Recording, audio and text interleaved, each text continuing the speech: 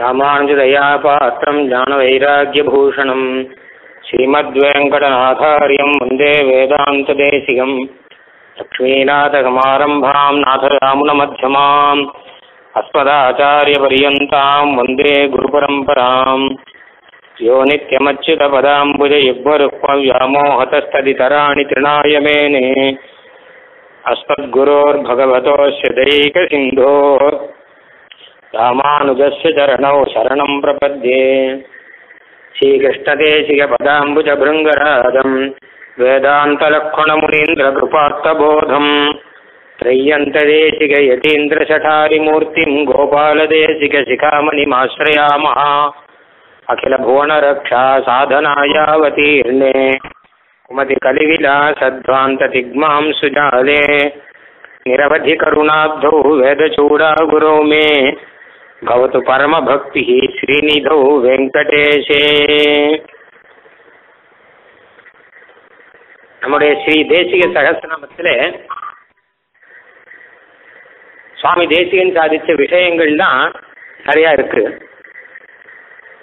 அதாவது சகசிரநாமம் மொத்தமும் தேசிகன் சாதிச்ச விஷயங்களை எல்லாம் அந்தந்த கிரந்தங்கள்ல இருக்கக்கூடிய விஷயங்களை எல்லாம் நமக்கு கோடிட்டு காண்பிப்பதற்காக வந்திருக்கு நடுவுல நடுவுல தேசிகனுடைய வைபவங்களையும் அருளி செய்கிறார். பொதுவாக ஒரு அஷ்டோத்திர சதநாமமோ இல்லை சகசநாமமோ ஆச்சாரியனுக்கு செய்தால் அது வைபவத்தை குறித்து தான் இருக்கும். இப்போ தேசியனுடைய வைபவத்தை குறிச்சும் ஒரு சகசநாமம் பண்ண முடியும். ஏன்னா அப்படிப்பட்ட வைபவங்கள் இருக்கு. ஆனாலும் இந்த கிரந்தத்தில் பிரதானமாக ஞானத்தை கொடுக்கும்படியாக தேசியம் சாதித்த விஷயங்களை எல்லாம் நமக்கு அருளி செய்திருக்கார் அப்படிங்கிறது தான் இதனுடைய விசேஷமே. இப்போ அநேக கிரந்தங்கள்ல சுவாமி தேசியம் சாதித்த விஷயங்களை எல்லாம் இப்போ பார்த்துன்னு வரும். இதுவரை சில்லறை ரகசிய கிரந்தங்கள்லையும் தேசிய பிரபந்தங்கள்லையும் இருக்கிற விஷயம் இப்போ போன வாரம் காலக்ஷேபம் வரைக்கும் பார்த்தோம். தேசிய சாதித்த கிரந்தங்கள்ல முக்காவாசி விஷயங்கள் அதாவது முக்காவாசி கிரந்தத்திலே எடுத்து கொடுத்தாச்சு. இனிமே நமக்கு பாக்கி இருக்கிறது பிரதானமான ஒரு கிரந்தம் ரகசிய சாரம் அதுக்கப்புறம் விரோத பரிகாரம் சாரசாரம் இந்த கிரந்தங்கள் இருக்கு. ரகசியத்திரை சார்ந்த விஷயங்கள் தான் நிறைய வரப்போகுது இனிமே. இதுக்கு நடுவில் சுவாமி தேசிகனுடைய அவதார வைபவத்தில் நடந்த சில விஷயங்கள் அதையும் நம்ம அனுசந்தானம் பண்ணணுங்கிறதுக்காக அதை குறித்து சில திருநாமங்கள் இப்போ சாதிக்கிறார். எழுநூத்தி எண்பத்தி எட்டு முதல் அந்த திருநாமங்கள் நாம பார்க்க போறோம். போகிறோம் கன பாத தீர்த்த பிரசா பிரபாவக சுத பிரகாசிகா ரக்ஷா ரக்ஷிதாத்தியாத்மபாஷ்யகா வாதாச்சல யாதவாச்சல பத்ரா शासनार्थगतिभासुरः अभीतिस्तव सङ्गा सञ्जाता भीरङ्गपुरी गतिः ரங்கப்பிராபித கோபனாரிய ஸ்துதி பிரியா இன்னும் அஞ்சு திருநாமங்கள் சரித்திர வைபவத்தை குறிப்பிடுறதாக இருக்கின்றன இதுல முதல் திருநாம் லக்ஷ்மணாச்சாரிய ரோகக்ன பாததீர்த்த பிரபாவகா லக்மணாச்சாரியரின் ரோகத்தை போக்கும் ஸ்ரீபாத தீர்த்த மகிமை பெற்றவர் என்ன அர்த்தம். இங்கே ஒரு வைபவத்தை குறிப்பிடுறார். சுவாமி தேசியன் எழுதியிருக்கும் போது லக்மணாச்சாரியர் என்ன ஒரு மகான் இருந்தார். கந்தாடை லக்மணாச்சாரியர் அப்படின்னு சொல்றார். உண்மையிலேயே பெரிய மகானா எழுதியிருந்தார். அவர் பல சிஷ்யர்களோடு கூட ஸ்ரீரங்கத்திலே வாசம் பண்ணிட்டு இருந்தவர். ஒரு நாள் அந்த சுவாமி தேசியன் கிட்ட அபசாரப்படும்படியா வந்துருச்சு. அந்த சுவாமியும் மீறி நடந்த ஒரு அபசாரம் அது. அவர் தேசியன் திருமாளிகையில் ஏழு இருக்கார் ஸ்ரீரங்கத்தில் வடக்கு உத்தர வீதியில் தேசிகன் திருமாளிகை இருக்கு. இந்த திருமாளிகையில் தேசியன் எழுதி இருக்கும்போது இவர் இப்படி வீதி பிரதட்சணமாக வீதியில் வர இவர் பின்னாடி இவருடைய சிஷ்யர்கள்லாம் வரா பொதுவாக மகான்கள்லாம் யாராவது வீதியில வந்தால் எல்லாரும் எழுந்து நிற்கிற வழக்கம். ஆத்து வாசலில் உட்காந்துருக்கோம் எல்லாம் பெரியவாள் வராள் அப்படின்னா எல்லாரும் மரியாதைக்காக எழுந்து நிற்கிற வழக்கம். அந்த மாதிரி நம்ம கந்தாட லக்ஷ்மணாச்சாரிய சுவாமி வரும்போது எல்லாருமே எழுந்து நிற்பா மகான் போறாருங்கிறதுக்காக. சுவாமி தேசிகனும் எழுந்து நிற்கிற வழக்கம். ஒரு பாகவதர் அப்படின்னா ஒரு பெரியவர் ஒருத்தர் போறார் அப்படின்னா நம்ம எழுந்து நிற்கணும்னு சாஸ்திரம் சொல்றது. என்ன மகாபாரதத்தில் சொல்லும்போது ஒரு பெரியவர் ஒருத்தர் போறார் இவர் எழுந்திருக்கல அப்படின்னா இவருக்கு ஆயுஷ் குறைஞ்சிருவான். ஏன்னு கேட்டான்னா பிராணாகா இவருடைய பிராணங்கள் இருக்கும் அது எழுந்து நிற்குமா? அவர் போகும்போது இவருடைய பிராணம் எழுந்து நிற்கும். அந்த பிராணனோடு கூட இவனும் எழுந்துட்டான்னா அவ பிராணன் இந்த சரீரத்துக்குள்ளே இருக்கும். பிராணனோடு கூட இவன் எழுந்துக்கல அப்படின்னா அவன் கொஞ்சம் பிராணம் போயிடும். இவருக்கு கொஞ்சம் கொஞ்சமா ஆயுஷ் குறையும் அப்படின்னு மகாபாரதம் இந்த வேடிக்கையா சொல்றது. அதனால அவர் தானே போயிட்டு இருக்க நான் என்ன பண்ணேன்? நான் அவர் ஒன்றும் பண்ணலையே. அப்படின்னு சொல்ல முடியாது. பூஜ்ய பூஜா விதிக்கிரமஹா அப்படிங்கிறது ஒரு பெரிய தோஷம். பூஜ்ய பூஜா விதிக்கமானா பூஜிக்க வேண்டியவாள் பூஜிக்கணும். அவாட்டுக்கு பாட்டுக்கு இருந்துட்டு இருக்கேன். நான் என்ன அவர் பண்ணலாம் நான் ஒரு உபதிரவம் பண்ணலாம் நான் ஒன்றுமே பண்ணல. நான் மட்டும் தான் உட்காந்துருக்கேன்னு சொல்ல முடியாது. பெருமாள் ஏழுன்னு வச்சுக்கோங்க. செவிக்காமல் இருக்கக்கூடாது. பசுமாட்டை அந்த பக்கமாக போகணும் இருந்தால் பசுமாட்டு பக்கமாக போயிடணும் போகணும் இருந்தால் பிரதட்சணம் பண்ணாமல் போகக்கூடாது. அப்பிரதட்சணமாக போகக்கூடாது. அது இருந்தால் என்ன? அப்படின்னு நினைக்க முடியாது. ஏன்னா பசுமாடுங்கிறது கோபாலன் மேய்ச்சது. தேவதைகள் இருக்கக்கூடிய இடமாம் அது. இப்படிலாம் சாஸ்திரம் சொல்லியிருக்கு. அதனால தான் காளிதாசன் பூஜ்ய பூஜா விதிக்கிரமஹா அப்படிங்கிறார். பிரதிபத்தனாதி ஹிஸ்ரேயா பூஜ்ய பூஜா விதிக்கிரமஹா. பூஜிக்க வேண்டிய வேலை பூஜிக்காம வெறும் வந்தால் அதுவே பெரிய தப்பு. அதுவே நமக்கு வந்து நல்லதை எல்லாம் தடுக்கும். நம்மளுடைய க்ஷேமத்தை எல்லாம் தடுக்குமாம். அது. அதனால எல்லாருமே எழுந்துக்கிற வழக்கம் தான் எழுந்துக்கிறது நல்லது. ஆனால் அன்னைக்கு ஒரு சமயம் என்ன ஆச்சுன்னு கேட்டால் சுவாமி தேசிகன் சதா கிரந்தங்களை எல்லாம் நிர்மாணம் பண்ணி கிரந்தங்களை எல்லாம் சேவிச்சுன்னு இப்படியே காலத்தை கழிச்சிருந்தபடினால இவர் அப்படி வாசல்ல ஏழ்றதை இவர் கவனிக்கல. அவர் உட்காந்து கிரந்தங்களை பார்த்துட்டு இருக்கார் கிரந்தாவலோகனம் அப்படின்னு கிரந்தத்தில் ஈடுபட்டு இருக்கார் லக்ஷணாச்சாரியர் சுவாமி இதை கவனிச்சு அவர் கை கூப்பிட்டு போயிட்டார். அவரை இவர் பார்த்து கை கூப்பிட அப்படின்னால கை கூப்பிட்டு அவர் போயிட்டார். ஆனா அவர் பின்னாடி வந்த சிஷ்யர்கள் அவர்களுக்கு விஷயம் புரியாமல் கோபம் வந்து நேர சுவாமி தேசியன் இருக்கிற இடத்துல போய் அவரை பிடிச்சு எழுத்து விட்டுட்டான் காலை பிடிச்சு இழுத்து திருவடியை பிடிச்சு இழுத்து எழுந்துக்காம உட்காந்துருந்தா என்ன அர்த்தம்? அப்படின்னு எழுந்துக்கும்படி பண்ணிட்டான் அதை வாயால கூட சொல்லலை.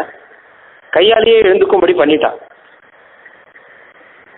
உடனே விஷயத்தை தெரிஞ்சின்ற சுவாமியை அபராத க்ஷாபனம் வாங்கின்ற. யார்கிட்டன்னா லக்ஷ்மணாச்சாரியர் கிட்ட இல்லை அவ சிஷ்யா கிட்ட அடியன் மன்னிச்சுக்கணும் அடியன் கவனிக்கல க்ஷமிச்சுக்கணும் அப்படின்னார். ஆனானப்பட்ட பகவானே பிருகு மகரிஷி கிட்ட அபராத க்ஷாபனம் வாங்கிக்கிறார். பிருகு மகரிஷி எட்டி உதைச்ச போது பெருமான் நேர போய் அவர் திருவடி பிடிச்சு விட்டு அவர்கிட்ட அபராத க்ஷாபனம் வாங்கிக்கிறார். நீர் வந்ததை நான் கவனிக்கல. என்னை மன்னிச்சுக்கும் அப்படிங்கிற. பகவான் எதுக்கு அபராத க்ஷாபனம் வாங்கிக்கணும்? பகவான் போய் அபராதம் பண்ண முடியுமாண்ணா? பகவான் போய் யாராவது வந்தா எழுந்துக்கணுமாண்ணா? நீர் எதுக்கு இப்படி அபராத க்ஷாபனம் வாங்கிக்கணும் அப்படின்னா அப்போ பகவான் சொல்ற ஒரு ஸ்லோகம் அழகான ஸ்லோகம் கிரந்தம் சபந்தம் பருஷம் வதந்தம் யோ பிராமணம் ந பிரணமேது யதாகம். நம்ம யாராவது ஒருத்தர் கோபிச்சுட்டாலும் சரி அடிச்சாலும் சரி உதைச்சாலும் சரி சாபம் கொடுத்தாலும் சரி நம்ம அவளை பார்த்து கை கூப்பணும். பண் பாகவதனா இருந்தான்னா கை கூப்பிட்டு அவகிட்ட அபராத சாபனம் வாங்கிக்கணும். அப்படி இல்லைன்னா அவன் ஸ்ரீ வைஷ்ணவன் இல்லை. நச்சா அஸ்மதீயா அப்படின்னு. யோ பிராமணம் நப்பிரணவேது அப்படி அவன் பண்ணலன்னு வச்சுக்கோங்க. அவன் கோவிச்சிருந்தானா பதிலுக்கு கோவிச்சிருந்தாலும் இல்லை பதிலுக்கு முறைச்சாலோ அப்போ அவன் ஸ்ரீ வைஷ்ணவன் இல்லை நப்பிரணமே யதாகம் அதை வைஷ்ணவன்லாம் எங்கே கற்றுக்கணும்னா என்ன பார்த்து கற்றுக்கோங்கிறான் பகவான். நானே கேட்கிறேன் பாருங்க இதை பார்த்து கற்றுக்கோங்க அப்படிங்கிறான். அன்னைக்கு பகவான் பிருகு மகரிஷி கிட்ட அபராத க்ஷாபனம் கேட்கலைன்னா அப்போ யதா சுவாமி ததா பிரஜாகா அப்படிங்கிற மாதிரி எல்லாருமே அப்படி நினச்சிருந்துருவா அபராத க்ஷாபனம் எங்கள் சுவாமியும் கேட்க மாட்டார் நாமளும் கேட்க மாட்டோம் அப்படின்வா எங்களுக்கு கேட்க வேண்டிய வழக்கம் இல்லை அப்படின்வா ஆனால் இப்போ பெருமாளே செஞ்சுட்டாரோ பாகவதால் கிட்ட? அபசாரப்பட்டதா நினைச்சுட்டு பெருமாளே சொல்லிட்டாரோ அப்போ என்னை பார்த்து நீங்கள் கற்றுக்கோங்க நீங்கள் நீங்களும் செய்யணும். அப்படின்னு நமக்கு காண்பிக்கிறாராம் பெருமாள். அதான் அந்த ஸ்லோகம் சொல்றது.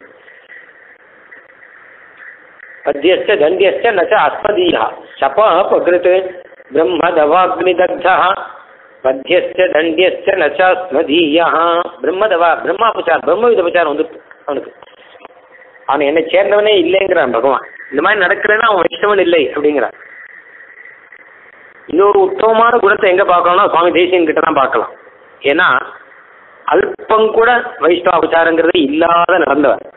அதுவும் எந்த காலத்துலன்னா பல வைஷ்ணவர்கள் இவர்கிட்ட அபச்சாரப்பட்டிருந்த காலத்துல. இவருக்கு பலவிதமான தொந்தரவுகள்லாம் இருந்த காலத்துல கொஞ்சம் கூட அபச்சாரம் இல்லாம நடந்தவர். எத்தனையோ மத்தி பேதங்கள் விவாதங்கள் எல்லாம் இருந்திருக்கு அந்த காலத்திலேயே. இருந்தும் கூட அவருடைய கிரந்தத்துல ஒரு இடத்துல கூட வைஷ்ணவா கிட்ட அபச்சாரப்பட்டு ஒரு வார்த்தை கூட பேசினது கிடையாது. வைஷ்ணவர்கள் சொன்னது எதையும் தப்புன்னு கூட சொன்னது கிடையாது. பத்தி பேதம் இருக்கும். ஆனால் கூட தப்புன்னு சொல்லவே மாட்டார். வாயால் அது வரவே வராது. ஏன்னா வைஷ்ணவர் சொன்னாலும் அது தப்பா இருக்காது. அது சரியாக தான் இருக்கும். எப்படி சரி அப்படிங்கிறத நான் சொல்றேங்கிறேன் அது தப்பு கிடையாது. இவர் எழுதி வச்சது தப்புன்னு சொல்லக்கூடியவா நிறைய பேர் இருக்கலாம். ஆனால் சுவாமி தேசிகன் வாயால் அது வரவே வராது. அதை சொல்லவே மாட்டேன் அப்படி பகவான் அன்னைக்கு எப்படி நடத்தி காமிச்சாலும் அதுக்கு கொஞ்சமும் குறவில்லாமல் சுவாமி தேசிகன் நமக்கு நடத்தி காமிச்சிருக்கார். ஒரு வைஷ்ணவன் எப்படி நடந்துக்கணும் அப்படிங்கிறத. நாமோ பகவானுடைய தாசர்கள் அப்படின்னு சொல்லிட்டு சுவாமி தேசிகனுடைய சம்பிரதாயத்தை சேர்ந்த அவருடைய தாசர்கள் அப்படின்னு சொல்லிட்டு இருக்கிறவா? ஒரு காலம் எந்த விதத்தினாலையும் பாகவத் அபசாரம் பட முடியாது. படக்கூடாது. அப்படின்னா வந்து சேரும் இதில். ஏன்னா சுவாமி தேசியன் திருமாளிகைக்கு மேல செருப்பு கட்டி வச்சவார் கருவியும் அதை பார்த்து ஸ்ரீரங்கத்தில் சுவாமி தேசியன் சந்தோஷப்பட்டார். மேலே தோரணமாக திருப்பு கட்டி வச்சிருக்கான். அதை பார்த்து சுவாமி தேசியன் சந்தோஷப்பட்டாராம் என்ன கேட்டால் ஸ்ரீவிஷ்ணவருடைய செருப்பு. ஸ்ரீவிஷ்ணவருடைய பாதுகை எப்படி தெரிஞ்சதுன்னா ஸ்ரீரங்கத்தில் இருக்கேன். ஸ்ரீரங்கத்தில் இருக்கவர் ஸ்ரீவிஷ்ணவர்கள் ஸ்ரீவிஷ்ணவர்கள் பாதுகையை கட்டி வச்சிருக்கார். அப்போ எனக்கு அதுதான் பெரிய போக்கியம்.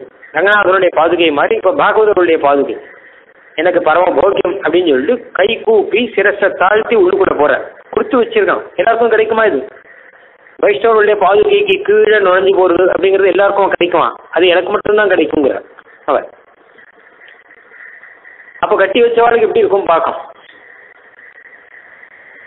அப்போ இதே மாதிரியான ஒரு காலத்துல கூட கொஞ்சம் கூட இந்த பாகவத அபச்சாரங்கிறதே இல்லாமல் பூர்த்தியான ஒரு வைஷ்ணவத்துவத்தோடு கூட நடந்து காண்பிச்சவர் சுவாமி தேசிகர். நம்ம ஆச்சாரியர்கள் யார் மேலுமே நம்ம எந்த ஆரோபணமும் பண்ண முடியாது. ஏன்னா எல்லாரும் நிறைவான வாழ்வை வாழ்ந்து நமக்கு அற்புதமான வாழ்க்கையை நடத்தி காமிச்சவா மொத்த பேருமே. அத சுவாமி தேசிகன் வந்து பகவான் மாதிரி பகவானுக்கு எப்படி ஏதோ பிருகு மகரிஷி அப்படின்னு ஒரு வியாஜம் எல்லாம் வந்தபோது பகவான் நடத்தி காமிக்கிறாரோ அந்த மாதிரி நமக்கு நடத்தி காமிக்க முடியாத சந்தர்ப்பங்கள் சுவாமி தேசிகனுக்கு வந்திருக்கு. அதுல தான் ஒண்ணு இது.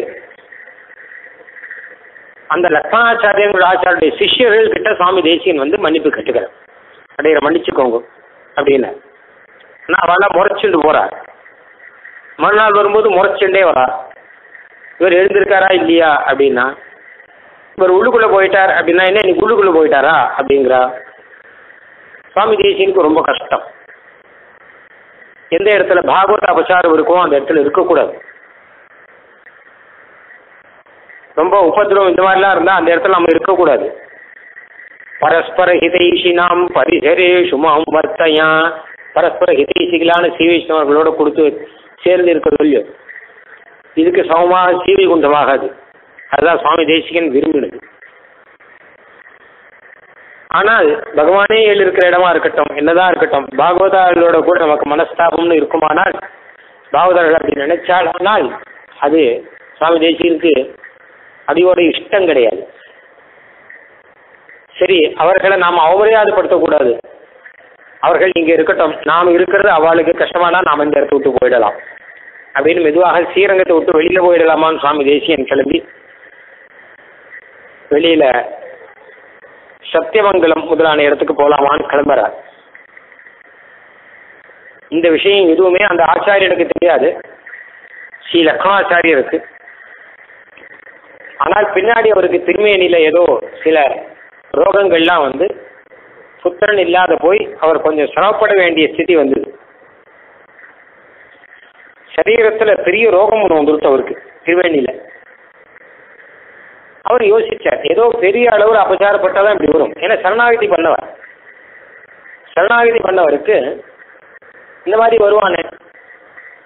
ஏதோ பெரிய அளவில் பாகவத பிரச்சாரம் நடந்தால் தான் இந்த மாதிரி இருக்கும். அதனால என்ன பாகவத பிரச்சாரப்பட்டோமோ அதுக்கு உடனடியாக நம்ம பரிகாரம் பண்ணோம்னா இந்த சரீரத்தில் இருக்கிற பாதைங்கிறது தீரும். இல்லாட்டா வேறு விதத்தில் தீராது. அதனால என்ன பிரச்சாரப்பட்டோம்னு யோசிச்சு பார்த்தா அவளுக்கு ஒன்றும் தெரியல. அப்படியே மெதுவாக எல்லாரோடையும் பேசியிருந்து பாகவத பிரச்சாரம் ஏதோ நடந்திருக்கு போல இருக்கு. என்ன பட்டதுன்னே தெரியல. அப்படின்னு தன்னுடைய சிஷ்யர்கள் சொல்லும்போது அந்த சிஷ்யர்கள் கொஞ்சமாக பயந்துட்டு இருந்தான் மெதுவாக அவர்கள்லாம் மெதுவாக ஒரு விஷயத்த சொன்னால் இந்த மாதிரி நாங்கள் வந்து அவர்கிட்ட அபசாரப்பட்டுட்டோம் அப்படின்னா அப்பதான் இவருக்கு விஷயம் புரிஞ்சுது நீங்க பெரிய பாகவத அபசாரம் பட்டிருக்கோங்கோ அதான் எனக்கு இப்படி வாட்டுறதுங்கிறார் அந்த குரு. சிஷ்ய பாபம் குரு ரபி அப்படின்னு சாஸ்திரம். சிஷ்யனுடைய பாபம் குருவுக்கு போய் சேருவான். ஆனால் சிஷ்யர்கள் ஜாக்கிரதையா இருக்கணும். அதுக்காட்டில் குரு இன்னும் ஜாக்கிரதையா இருக்கணும். என்ன கேட்டா சிஷ்யர்களை திருத்தணும் அவர். திருத்தாம விட்டுட்டான்னா அப்புறம் சிஷ்ய பாபம் குரு ரபி குழந்தைகளை வளர்க்கும்போது சரியா வளர்க்காட்டா அந்த குழந்தைகள் பண்ற பாட்டோ அம்மா அப்பாவுக்கு வரும் மனைவியை சிக்ஷிக்க வேண்டும் போது சரியா சிக்ஷிக்கலைன்னா அப்போ அந்த குடும்பத்தில் தவறு நடந்தால் அந்த பாப்பம் பர்த்தாவுக்கு வந்து சேரும். இப்படிலாம் சொல்ற மாதிரி சிஷ்ய பாபம் அப்படிங்கிறது குருவுக்கு வந்து சேரும் அப்படின்னு சொல்லியிருக்கு. நீங்க பாகவத விசாரப்பட்டா எனக்கு பாப்பம் அப்படின்னு சொன்னார். அவர் சிஷ்யாலும் ரொம்ப கஷ்டப்பட்டார். சரின்னு சொல்லிட்டு உடனே போய் தேசிகன் இருக்கிற இடத்துக்கு போய் தேசிகனை சேவிச்சு இந்த மாதிரி அபசாரம் நடந்துருக்கோ அடியனை க்ஷமிச்சுக்கணும் அப்படின்னு சொன்னார். அதுக்கப்புறம் தேசிகனோட கூடவே இருந்தார் ஒரு வருஷ காலம். நித்தியம் தேசிகனுடைய சீபாத தீர்த்தத்தை சாப்பிட்டு அவருடைய சீபாதத்தை அலம்பி அந்த தீர்த்தம் சாப்பிட்ற இது பரம பவித்திரம் அப்படின்னு சொல்லியிருக்கு. ஏதத் சமஸ்த பாபானாம் பிராயச்சித்தம் மனிஷிபிஹி. நிர்ணீதம் பகவத் பக்த பாத பாதோதக நிஷேவனம் ஏதத் சமஸ்த பாபானாம் பிராயச்சித்தம். எல்லா பாபத்துக்கும் பிராயச்சித்தம் என்ன கேட்டா? உத்தமமான பாகவதா யாரு? அப்படின்னு பார்த்து அவளுடைய சீபாத தீர்த்தத்தை எடுத்துக்கணும். எடுத்துனா அதுதான் சமஸ்த பாபத்துக்கு பிராயச்சித்தம். ஒரு சாஸ்திரம் சொல்லியிருக்கு. நம்ம சொன்னதில்லை சாஸ்திரமே சொல்லியிருக்கு. ஏதத் சமஸ்த பாபானாம் பிராயச்சித்தம். இன்னைக்கும் நிறைய பேர் செய்கிற வழக்கம். பிராயச்சித்தமாக சீபாத தீர்த்தம் சாப்பிட்ற வழக்கம். இன்னைக்கும் உண்டு. ஆனால் சீபா தீர்த்தம் சாப்பிடணும்னு சொல்லிட்டு பிராயச்சித்தமாக சுவாமி தேசியனுடைய சீபா தீர்த்தத்தை அவர் ஸ்வீகரிச்சுட்ட அதனால அவருக்கு ரோகங்கள் போச்சு. மாற்றம் இல்லை ரொம்ப நாளாக குழந்தை இல்லாமல் இருந்த அவருக்கு ஒரு குழந்தையும் பிறந்தது. அந்த குழந்தைக்கு சுவாமி தேசியனுடைய ஞாபகார்த்தமாக தீர்த்த பிள்ளைன்னே பேர் வச்சுட்டார் அவர். சீபாத தீர்த்தத்தால் வந்தவரான அப்படின்னால தீர்த்த பிள்ளை ரெண்டு அர்த்தம். ஒன்று தீர்த்தத்தில் வந்தபடியான தீர்த்த பிள்ளை இன்னொன்று தீர்த்தம்னா சுத்தம்னு அர்த்தம். சுத்தமாக வந்திருக்காரு இவர். எப்போ சீபாத தீர்த்தத்தில் இருந்தாரோ அப்போ ரொம்ப சுத்தமாக தானே இருக்கணும் அவர். அதனால பரம சுத்தமாக வந்த குழந்தை அப்படின்னு அர்த்தம். அப்படி இருக்கு இதனால ஆச்சாரியாவுடைய ஸ்ரீபாத தீர்த்தத்தினுடைய பெருமை தெரியுது நமக்கு. லக்ஷ்மணாச்சாரிய ரோகக்ன பாத தீர்த்த பிரபாவகா. தேசியனுடைய பாத தீர்த்த பிரபாவம் அவருடைய ரோகத்தை போக்கடிக்கக்கூடியது இந்த பாப்பத்தினாலே ரோகம் வருதோ இந்த பாப்பத்தை போக்கடிக்கும் அப்படின்னு தாற்பயம். அது மாத்திரம் இல்லை ஞானத்தை எல்லாம் கொடுக்கும். ஸ்ரீபாத தீர்த்தம் அப்படிங்கிறது பிரபாவம் ரொம்ப அதிகம். எல்லா சம்பிரதாயத்திலும் எல்லாருமே ஆச்சாரியருடைய சீபாத தீர்த்தத்தை சேர்த்துக் கொள்கிற வழக்கம் உண்டு. இப்படியாக தேசியனுடைய பிரபாவமும் வசத்தியா இருக்கு. சீபாத தீர்த்த பிரபாவமும் வசத்தியா இருக்கு. இந்த கந்தாடை லக்மணாச்சாரிய சுவாமி இருக்கவில்லை அவருடைய பிரபாவமும் வசத்தியா இருக்கு. என்ன நல்ல உத்தமமான வம்சம். தேசியனுடைய அனுகிரகத்தினால ஒரு குழந்தை பிறந்து அந்த வம்சம் இருக்குன்னா அது எப்படிப்பட்ட வம்சமா இருக்கும் பார்த்தோம் இது இது கூட பரம பாக்கியம். சிலதெல்லாம் வந்து நம்மையும் அறியாமல் தப்பு நடந்தா கூட அதனால பெரிய பாக்கியங்கள்லாம் கிடைக்கும் நமக்கு. அந்த மாதிரி இவரையும் அறியாமல் சின்ன அபச்சாரம் வேற இவருக்கு அது பெரிய பாக்கியத்தில் கொண்டு வந்து விட்டது. சிஷ்யா பண்ண பாவம் கடைசியில் இவருக்கு பரமக்ஷேமமாக ஆச்சு அப்படின்னு இந்த பிரபாவத்தை இந்த திருநாமத்தில் சொன்னார். அடுத்த திருநாமம் ஸ்ருத பிரகாசிகா ரக்ஷா ரக்ஷிதாத்தியாத்ம பாஷ்யகா ஸ்ருத பிரகாசிகையை ரட்சித்து அதன் மூலம் ஸ்ரீபாஷ்யத்தை ரட்சித்தவர் அப்படின்னு அர்த்தம். இப்போ ஒரு ரொம்ப முக்கியமான ஒரு விஷயம் ஒன்று சாதிக்க போறார் ஸ்ரீரங்கத்தில் நடந்த வைபவம். துருஷ்கர்களுடைய படையெடுப்பு நடந்தது. சுவாமி தேசியம் இப்போ ஸ்ரீரங்கம் வெளியிட்டார் அப்போ துருஷ்க யவனாதிபி ஜெகதி ஜிம்பமானம் பயம் அப்படின்னு துருஷ்கர் யவனார்கள் முதலானவர்களாலே ரொம்ப பெரிய ஆபத்து பெரிய அளவில் பயம்னு ஒன்று வந்தது. அந்த காலத்தில் அவர்களுடைய ஆட்சி தான் நடந்திருந்தது. பாரத தேசத்தில் வடக்கு பக்கமெல்லாம் அவர்களுடைய ஆட்சி இருந்தது. தெற்கு பக்கம் பெரிய அளவில் அவள் ஆட்சி வரல. ஆனால் வந்து கொள்ளை மாத்திரம் நடந்தது. அவள் திடீர்னு வருவா. வந்து அங்கே இருக்கிற கோயிலில் எல்லாத்தையுமே கொள்ளையடிச்சு எங்கெங்கே யாருங்க அங்கே சொர்ணங்கள்லாம் நிறையா இருக்கோ அதெல்லாம் எடுத்துன்னு போய் புஸ்தகங்கள்லாம் நசிப்பிச்சு அங்கே யார் வைதிகர்களாக யார் இருக்காளோ அவர்களை எல்லாம் கொன்னுட்டு இன்னும் ஸ்திரீகள் நல்ல இந்து ஸ்திரீகள்லாம் யார் யார் இருக்காளோ அவளையெல்லாம் மானபங்கப்படுத்திட்டு இப்படி தான் அவள் ஆட்சி நடத்தின்னு இருந்தாள் இது சரித்திரமே சொல்கிறது இது அதிகப்படியாக சொல்றது இல்லை சரித்திரம் சொல்றது இது. அப்போ அந்த மாதிரி இருக்கும்போது துருஷ்காருடைய படையெடுப்பு ஒன்று ஸ்ரீரங்கத்தை நோக்கி வருது அப்படின்னு ஒரு சமாச்சாரம் ஒன்று வந்தது. உடனே மொத்த பேரும் பயந்துட்டான் இவர்கள் வருது கோயிலை கொள்ளையடிக்கிறதுக்காக தான் வரா. அங்கே இருக்கக்கூடிய விக்கிரகங்கள் பெருமாளுடைய திருவேணியெல்லாம் எடுத்துன்னு போயிடுவா. நம்மளாம் பெருமாளுடைய திருவேணியில் அர்ச்சாவதாரத்தில் பெருமாள் கிருபையா ஏழு இருக்கான் அப்படின்னு நம்ம சேவிச்சு அவருடைய கருணையோட கூடிய அனுகிரகத்தை எல்லாம் வாங்கிக்கிறோம். ஆனால் அவளுக்கு அதெல்லாம் தெரியாது. இது எத்தனை ஐம்பொன் சீலையா இதில் எத்தனை ரூபா தாரும் அப்படின்னு பார்ப்பான். அதுக்காக எல்லாத்தையும் கொள்ளையடிச்சுன்னு போய் இது அழகா இருக்கா? இதை எங்கே வைக்கலாமா? இல்லை விற்கலாமா? அப்படின்னு இதை பார்த்துட்டு இந்த ஒரு திருஷ்டியில் வரக்கூடியவர்கள் அங்கே இருக்கிற வைதிகர்களையும் எல்லாரையும் நாசம் பண்ணக்கூடியவர்கள் ஆக படையெடுப்பாக ஒரு சைன்யமே ஒன்று வந்துட்டு இருக்கு அப்படின்னு வரத. இன்னும் ஸ்ரீரங்கத்தில் இருக்கிற ஆச்சாரியர்கள்லாம் ஒன்று கூடி இதை பற்றி விசாரிச்சா இதை பற்றி யோசிச்சா என்ன பண்ணணும்? அதிகமாக சமயம் கிடையாது. அஞ்சு நிமிடத்துக்குள்ளே முடிச்சிடும். அதனால் அஞ்சு நிமிடத்துக்குள்ளே ஏதாவது வழி பண்ணணும். என்னன்னு பார்த்தா முதல்ல நாம பிழைக்கிறது இருக்கட்டும் பெருமாளை பிழைக்கும் பெருமாள் ஸ்ரீ ரங்கநாதனுடைய திருமேனியை நாம் காப்பாற்றோம் அதுக்காக கோயிலில் மூலவர் இருக்கிற இடத்தெல்லாம் கல் திரை அப்படின்னு திரையை சமர்ப்பிச்சான் கல்லாலேயே மூடிட்டான் மூடிட்டா வெளியிலேருந்து பார்த்தா வெறும் சுவரோட சுவராக தெரியும். அவ்வளோ உள்ளே ஒன்று இருக்குன்னே தெரியாது. அதுக்கப்புறம் உற்சவர் நம்பெருமாள் கருளியர். அவரை ஏழை பண்ணிட்டான் கயிறு ஏழை பண்ணிட்டு அவர் கண்டு போயிட்டான். அவன் படையெடுத்து வரும்போது அவன் தாண்டி தப்பிச்சு போயிடணும் அப்படிங்கிறதுக்காக நம்பெருமானையும் ஏழை பண்ணிட்டு அவன் அதிவேகமாக வெகு வேகமாக கழுவி போகுது அப்படின்னு முடிவாயிடுச்சு இது மாதிரி எல்லாரும் அவாவா உயிரையும் காப்பாற்றிக்கணும் அதுக்காகவும் எல்லாரும் போகணும். ரொம்ப அளவில் போக முடியாது அப்படின்னா இருந்தால் அது ரொம்ப கஷ்டம்தான். அவன் பெரியவாச்சான் பிள்ளை முதலானவர்கள்லாம் வயசான காலத்தில் ஸ்ரீரங்கத்திலே தங்கிட்டா வேற வழி இல்லை. அப்போ அவருடைய கதி என்ன அப்படிங்கிறது இன்னைக்கும் தெரியல. இந்த துருஷ்கால் கிட்ட மாட்டின்னு விட்டாங்க நிறைய பேர். துருஷ்கால் கிட்ட மாட்டின்னு உயிரை விட்டவா நிறைய பேர். நம்பெருமாளை ஏழை பண்ணிட்டு போனவார்கள் நிறைய பேர். வெளிலோகாச்சாரியார் முதலான ஆச்சாரியர்கள்லாம் நம்பெருமாளை ஏழை பண்ணிக்கிறார். ஏழை பண்ணிட்டு போறார். எல்லாருமே கூட போறா. இப்போ சுவாமி தேசிகனும் அங்கிருந்து கிளம்பி பெருமாளோட கூட யாத்திரையாக கிளம்பி போகும்போது அங்க வயசா எழுந்த சுதர்சன பட்டர் அப்படிங்கிறவர் சுவாமி தேசிகனை பிடிச்சு நிறுத்தினார். எனக்கு ஒரு உபகாரம் பண்ணணும் அப்படின்னார். அவரும் வயசான திருமேனி. சுவாமி தேசியன் கை கூப்பிட்டு என்ன பண்ணணும் காத்த சிவபிரகாசிக்கு எழுதினவர் அவர் சுதர்சன பட்டர் அப்படிங்கிறவர் பராசர பட்டருடைய திருக்குமார். வேதவியாச பட்டர் சுதர்சன பட்டர் அப்படின்னு குமாரர்கள். ஸ்ரீரங்கத்திலே வளர்ந்தவர் காஞ்சிபுரத்தில் நடாதூரம்மாள் கிட்ட காலக்ஷேபம் கேட்டவர். நடாதூரம்மாள் கிட்ட காலக்ஷேபம் கேட்டதை அவர் எழுதி வச்சார். சீபாஷியத்தினுடைய அர்த்தம் மொத்தத்தையும். அவர் என்னென்ன காலக்ஷேபம் சொன்னாரோ அவர் என்ன சப்தம் சொன்னாரோ அதையும் வச்சு எழுதி வச்சார் இவர். இவரா சப்தம் கூட போடாமல் அந்த சப்தத்தையே வச்சு அப்படியே எழுதி வச்சார். ஒரு தடவை இல்லை பல தடவை காலக்ஷேபம் கேட்டு எழுதினவர். அந்த எழுதின கிரந்தத்துக்கு ஸ்ருத பிரகாசிகா அப்படின்னு பெயர் வச்சார். ஸ்ருதம்னா கேட்டது. கேட்டதை பிரகாசம் பண்றேன் அப்படின்னார். என்னுடைய புத்தி பிரகாசிகா இல்லை இது. என் புத்தியில் தோணினதை நான் பிரகாசம் பண்ணல. நான் என்ன கேட்டேனோ அதை நான் பிரகாசம் பண்றேன். அப்படின்னு ஸ்ருத பிரகாசிகா அப்படின்னும் ஸ்ருத பிரதீபிகா அப்படின்னும் ரெண்டு வியாக்கியானம் அது அதை அவர் ஓலையில் பனை ஓலையில் அவர் எழுதி வச்சிருந்தார். பொதுவாக அந்த காலத்தில் என்ன பண்ணுவாங்க கேட்டான்னா இந்த ஓலையில் எழுதி வச்சதெல்லாம் பார்த்து இன்னொருத்தர் வேற ஒரு வேலையில் எழுதணும். அப்படிதான் அதை பரவணும். வேற வழி கிடையாது. ஜெராக்ஸ் காப்பியில் எடுக்க முடியாது. அதனால் இதை பார்த்து வேற ஒருத்தர் எழுதணும் அதை பார்த்து வேற ஒருத்தர் எழுதணும். அப்படியே இது புஸ்தகங்கள் பிரச்சாரமான உண்டே தவிர வேற வழி கிடையாது. இதுவோ பெரிய கிரந்தம். சிவபிராசிகா அப்படிங்கிறது ரொம்ப ரொம்ப பெரிய கிரந்தம். இன்னைக்கு அது புக்கா போடும்போது கூட ரெண்டு வால்யூம் இல்லாமல் போட முடியாது. அப்படிப்பட்ட பெரிய கிரந்தம். ஒரு வால்யூம்ல போட முடியாதுங்கிற ரீதியில இருக்கு அது. இன்னைக்கு நமக்கு எத்தனையோ சௌரியம் இருக்கு. ஆனா அன்னைக்கு உட்காந்து மொத்தத்தையும் எழுதணும். ஒவ்வொரு அக்ஷரமா பார்த்து பார்த்து எழுதணும்னா அத்தனை சுலபமான காரியம் இல்லை. இவர் எழுதி வச்சிருக்கார். இதை இன்னும் யாரும் எழுதல. இவர்கிட்ட மாத்திரம் தான் அந்த ஓலை இருக்கு. ஆனா இதுவோ ரொம்ப தேவை இப்போ. ஏன்னா சீவாஷியத்துடைய அர்த்தம் அதுக்குள்ள இருக்கு மொத்தமே அதுவும் நடாதூரமாக சாதிச்ச அர்த்தம் இருக்கு. அப்படின்னா பிற்காலத்துல இது வேணும்.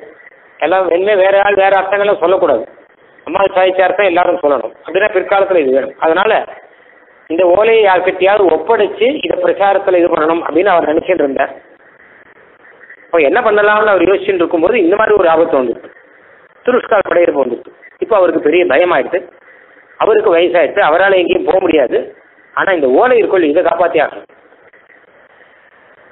அவன் என்ன பண்ணுவான்? அந்த புஸ்தகத்தை பார்த்தா முதல்ல அதுதான் பிடிப்பான். அவளுக்கு அந்த புஸ்தகம் தான் முக்கியம். அவளுடைய மதத்தில் புஸ்தகம் தான் தெய்வம் அவளுக்கு. அதனால இவன் என்ன பண்ணுவான் கேட்டா வேதம் ராமாயணம் முதலான புஸ்தகங்கள்லாம் யார் கையில வச்சுருக்காளோ அவகிட்ட இந்த புஸ்தகத்தை பிடிங்கிடுவான் பிடுங்கி அவன் வச்சுருக்கிற குரான் ஒன்று இருக்கு அதை வந்து இவன் மேல கொடுத்துருவான் திணிச்சுடுவான் ஏன் நம்ம கண்ணுக்கு நேரம் இந்த புஸ்தகங்கள்லாம் என்னென்ன இருக்கோ அதெல்லாம் துவம்சம் பண்ணி எரிச்சு எரிச்சு போட்டு போடுவான் இந்த மாதிரி அநேக ராமாயணங்கள்லாம் எரிச்சுட்டான். அப்படின்னா கேள்வி. அநியாயமும் அட்டூழியமும் அராஜகமும் தான் நடந்திருக்கு. அப்பதான் அந்த காலத்துல கோவில் விட்டாங்க. நீ ராமாயணத்தை மொத்தத்தை எரிச்சா கூட கவலை இல்லை. ஏன்னா எங்ககிட்ட இருபத்தி நாலாயிரம் ஸ்லோகம் மனப்பாடம் பண்ணவா இருக்காங்க. மொத்தத்தையும் மனப்பாடம் பண்ணி வச்சிருக்கா. இல்லாட்டா அந்த வேதத்துல இன்னைக்கு இப்படி காப்பாற்றி வச்சிருக்கா. மொத்த வேதமும் இருக்கு. இன்னைக்கும் இருக்கா. பாகவதம் பதினெட்டாயிரம் ஸ்லோகம் மனப்பாடம் பண்ணி வச்ச ஆச்சாரியர் இருக்கா. இப்போ இருக்கா. சிவத் ராமாயணம் மொத்தம் மனப்பாடமா சொல்றவா இருக்கிறவா வேதம் மொத்தம் மனப்பாடமா சொல்றவா இருக்கா? சீபாஷ்யத்தை பார்த்தோன்னா காஞ்சிபுரத்தில் தேவராஜ பெருமாள் செந்தில மனப்பாடமா சொல்றா சீபாஷ்யத்தை. அப்படி இப்படிலாம் பகவான் ஏற்பாடு பண்ணியிருக்கார். அதனால பொழைச்சிருக்கு. பெரியவாள் இப்படிலாம் இருந்து இருந்திருக்கிறபடினால் தான் ஆச்சாரியர் இப்படி இருந்தபடியால் தான் பொழைச்சிருக்கு. ஆனால் இந்த சிவபிரகாஷ் கிடையாது. இப்போ தான் முதல்லயே வந்திருக்காரு இன்னும் வரலையே. இப்போ தான் ஒரு தரம் தானே எழுதியிருக்காரு அவர். இப்போ இவருக்கோ பிராணன் சந்தேகத்தில் ஆயிடுத்து அவள் வர்றபடினால இந்த ஓலையை எப்படியாவது காப்பாற்றி ஆகணும். அதனால் எனக்கு ஒரு உபகாரம் பண்ணணும் இந்த ஓலையை காப்பாற்றணும்னு அதை கொடுத்துட்டேன் சுவாமி தேசியன் கிட்ட கொடுத்தாரு அவர். நீ தான் காப்பாற்றணும் அப்படின்னு அவரையே தேர்ந்தெடுத்தார். இவரனை துருஷ்டாரோட சண்டை போட்டு அதை காப்பாற்ற முடியுமா?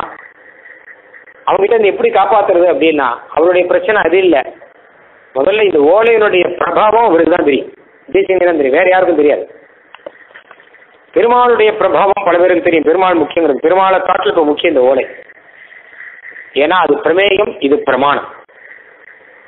பிரமேயம்ங்கிறது பெருமாள். நாம தெரிஞ்சுக்க வேண்டிய விஷயம். பிரமாணம் அப்படிங்கிறது இது வச்சுருந்தா தான் அதை தெரிஞ்சுக்க முடியும். இல்லாட்டா அதை தெரிஞ்சுக்க முடியாது. என்னதான் பிரமேயமே இருக்குன்னு வச்சுப்போம். பெருமானே இருக்கார். திருவேங்கன் வழியில் திருவேங்கட உடையான் இருக்கார். அப்போ ஸ்ரீரங்கத்தில் ரங்கநாதன் இருக்கார். ஆழ்வார்கள் ஆச்சாரியர்கள் மொத்த பேரும் சொல்லவே தானே நமக்கு தெரியுது இவா பெருமை. ஒரு ஆழ்வார்கள் இல்லைன்னா ஆச்சாரியர்கள் இல்லைன்னா இவா பெருமை நமக்கு என்ன தெரியும்? அதனால் இவர்கள்லாம் பிரமாணத்தில் எழுதி கொடுக்கவே தான் அந்த பிரமேயம் தலைப்பட்டு நிற்கிறது பிரமாணாதீனா பிரமேய வியவஸ்திதி அப்படின்னு சொல்லுவார் சாஸ்திரத்தில் உதயநாச்சாரியர் ஒருத்தர் இருந்தார். அவர் நம்ம சி விஷ்ணவ ஆச்சாரியர் இல்லை. ஆனால் வந்து அவருக்கு உதயநாச்சாரியன் பெயர். உதயநாச்சாரியன் மாத்திரம் இல்லை பொதுவாக சாஸ்திர லோகத்தில் ஆச்சாரியன் சொன்னாலே அவருக்கு தான் பெயர். அந்த அளவுக்கு பிரசித்தமானவர் அவர் சுவாமி தேசியன் காலத்துக்கு முன்னாடி இருந்தவர் அவர். ஆச்சாரியன் இல்லை நியாயாச்சாரியன் அப்படின்னு சொல்லுவார். அவர் ஈஸ்வரன் இருக்கான் அப்படிங்கிறத நாஸ்திகர்களுக்கு போய் ஸ்தாபிச்சவர். பௌத்த மதத்திலையும் ஜெயின மதத்திலையும் மற்ற மதத்திலையும் போய் ஈஸ்வரன் அந்த காலத்தில் பௌத்தர்களுடைய ஆட்சி இருந்தது. நிறைய ராஜாக்கள்லாம் பௌத்தர்களா இருந்தா. அப்போ அவளோடலாம் வாதம் பண்ணி அவளை வாதத்தில் ஜெயிச்சு அவளை கொண்டுட்டார் அதான் வாதத்துல அந்த காலத்தில் யார் தோக்குறாளோ அவள் வந்து பிராணத்தியாகம் பண்ணணும். உயிரை விடணும். அப்படிதான் வாதம் எல்லாம் நடக்கும். அதான் நிறைய பௌத்தர்கள் தான் இவர்கிட்ட தோற்று போய் மொத்த பேரும் உயிரை விட்டுவான் நிறைய பேர். வேற அது பெரிய சேவையா பண்ணிட்டு இருந்தார். ஈஸ்வரன் இருக்கான் அப்படிங்கறத ஸ்தாபிச்சு ஒரு பெரிய சேவையா பண்ணேன். நம்ம சுவாமி ராமானுஜர் கூட பண்ணிருக்கேன். சுவாமி ராமானுஜர் எண்ணூறு ஜெயினர்களோட வாதம் பண்ணி எண்ணூறு ஜீவர்களும் எண்ணூறு ஜெயினர்கள். மொத்த பேரும் உயிர் விட்டாந்துருக்கு இல்லை அந்த காலத்துல அது நிர்பந்தம். இவர் தோத்தானா இவர் உயிரை விடணும். அதுக்கும் தயாராக இருக்கணும். இல்லை மதம் மாறணும். ஒன்றும் உயிரை விடணும் இல்லை மதம் மாறணும். மதம் மாறி வரலாம். அது உண்டு. அதுதான் ராமானுஜர் எதிர்பார்ப்பேன் அது இல்லைன்னா அவன் உயிரை விடுவாள் அம்மா இந்த உதயநாச்சரர் ரொம்ப பெரிய சேவையாக ஒன்று பண்ணிட்டு இருந்தார். இந்த மாதிரி அங்கங்க போய் ஈஸ்வரன் இருக்கான்ங்கிறத வாதம் பண்ணி அவர் ஸ்தாபிப்பார். மகா நையாய்க்கர் மகா தார்க்கிகர். அவரால் முடியும். இப்படி அழகா பண்ணிட்டு போயிட்டே இருந்தார். ஒரு நாள் பூரியில ஜெகநாத கஷேத்திரத்தில் அந்த வாதம் நடந்தது. அந்த பூரி ஊருக்கு போனார். அங்க போய் வாதம் பண்ணி எல்லாரையும் ஜெயிச்சுட்டு அதுக்கப்புறம் கோயில பெருமாள் சேவிக்கணும் அப்படின்னு போனா கதவு சாத்திட்டார் அவருக்கு அன்னைக்கு சேவிக்கணும் ரொம்ப ஆசை. இப்பதான் வாதம் முடிச்சுட்டு வந்திருக்கேன் பூரியில வாதம் அப்படின்னா பெருமாளையும் சேவிக்கலாம்னு வந்திருக்கேன் வந்து பார்த்தா கதவு சாத்திட்டார். கதவை திறக்கணுமே அப்படின்னா இன்னும் திறக்க முடியாதுன்னுட்டான் நீ இப்போதைக்கு திறக்க முடியாது. அப்படின்னா இவருக்கு கோபம் வந்துருச்சு ஆனால் திறக்க மாட்டேன்னு சொன்னவர்கிட்ட கோபம் இல்லை. பெருமாள்கிட்டே கோபம் வந்து ஏன்னா எப்படிப்பட்ட காரியம் பண்ணிட்டு வந்திருக்கேன்? நீ இருக்குங்கிறத ஸ்தாபிச்சுட்டு வந்திருக்கேன். நான். நீ கோயிலுக்குள்ள இருக்கிறதா இருப்பு. கோயிலுக்குள்ள நீ இருக்குன்னா ஆயிட்டா? அது ஜனங்களுக்கு எடுத்து சொல்ல வேண்டாமா? அப்படின்னு. ஐஸ்வர்ய மதம் அத்தோசி பெருமாள் கிட்ட சொல்றார். ஐஸ்வர்ய மதம் பிடிச்சிருக்க நீ வேற ஒண்ணும் இல்லை ஏன்னா உனக்கு தான் இத்தனை பெரிய கோயில் இருக்கு கோயிலில் பிரம்மாண்டமா ஒரு கதவு இருக்கு. அந்த கதவு சாத்தினால பெருசா ஒரு சப்தம் கேட்கறது. இப்படி பெற்ற ஒரு பெரிய கோயிலும் எல்லாம் உனக்கு இருக்கு நீ நினைச்சிட்டு இருக்கு. அதனாலதான் இப்படி நடக்கிறது. ஒரு விஷயம் தெரிஞ்சுக்கணும். பிராப்தே பரிபவே. மொத்த பேர் சேர்ந்து உன்னை இல்லைன்னு சொல்லுவான். நீ கிடையாதுன்னுவான். நீ கல்லுன்னுவான். அப்போ மதஜீனா தவஸ்திதி. அப்போ நான் தான் வந்து உன்னை காப்பாற்றணும் வேற இன்னொருத்தர் கிடையாது. நான் வந்து உன்னை காப்பாற்றுவேன் அப்படின்னு அவன். அந்த மாதிரி உண்மையில பகவானை காப்பாத்துறது இவாழ்கள் பிரமாணத்து மூலமா பகவானை காப்பாத்துறது பெரிய ஒரு ரக்ஷணம் குதிருஷ்டி குகனாமுகே நிபதத பரபிரம்மண. கரகிரக விசக்ஷணோ ஜெயதி லக்ஷணோயம் முனி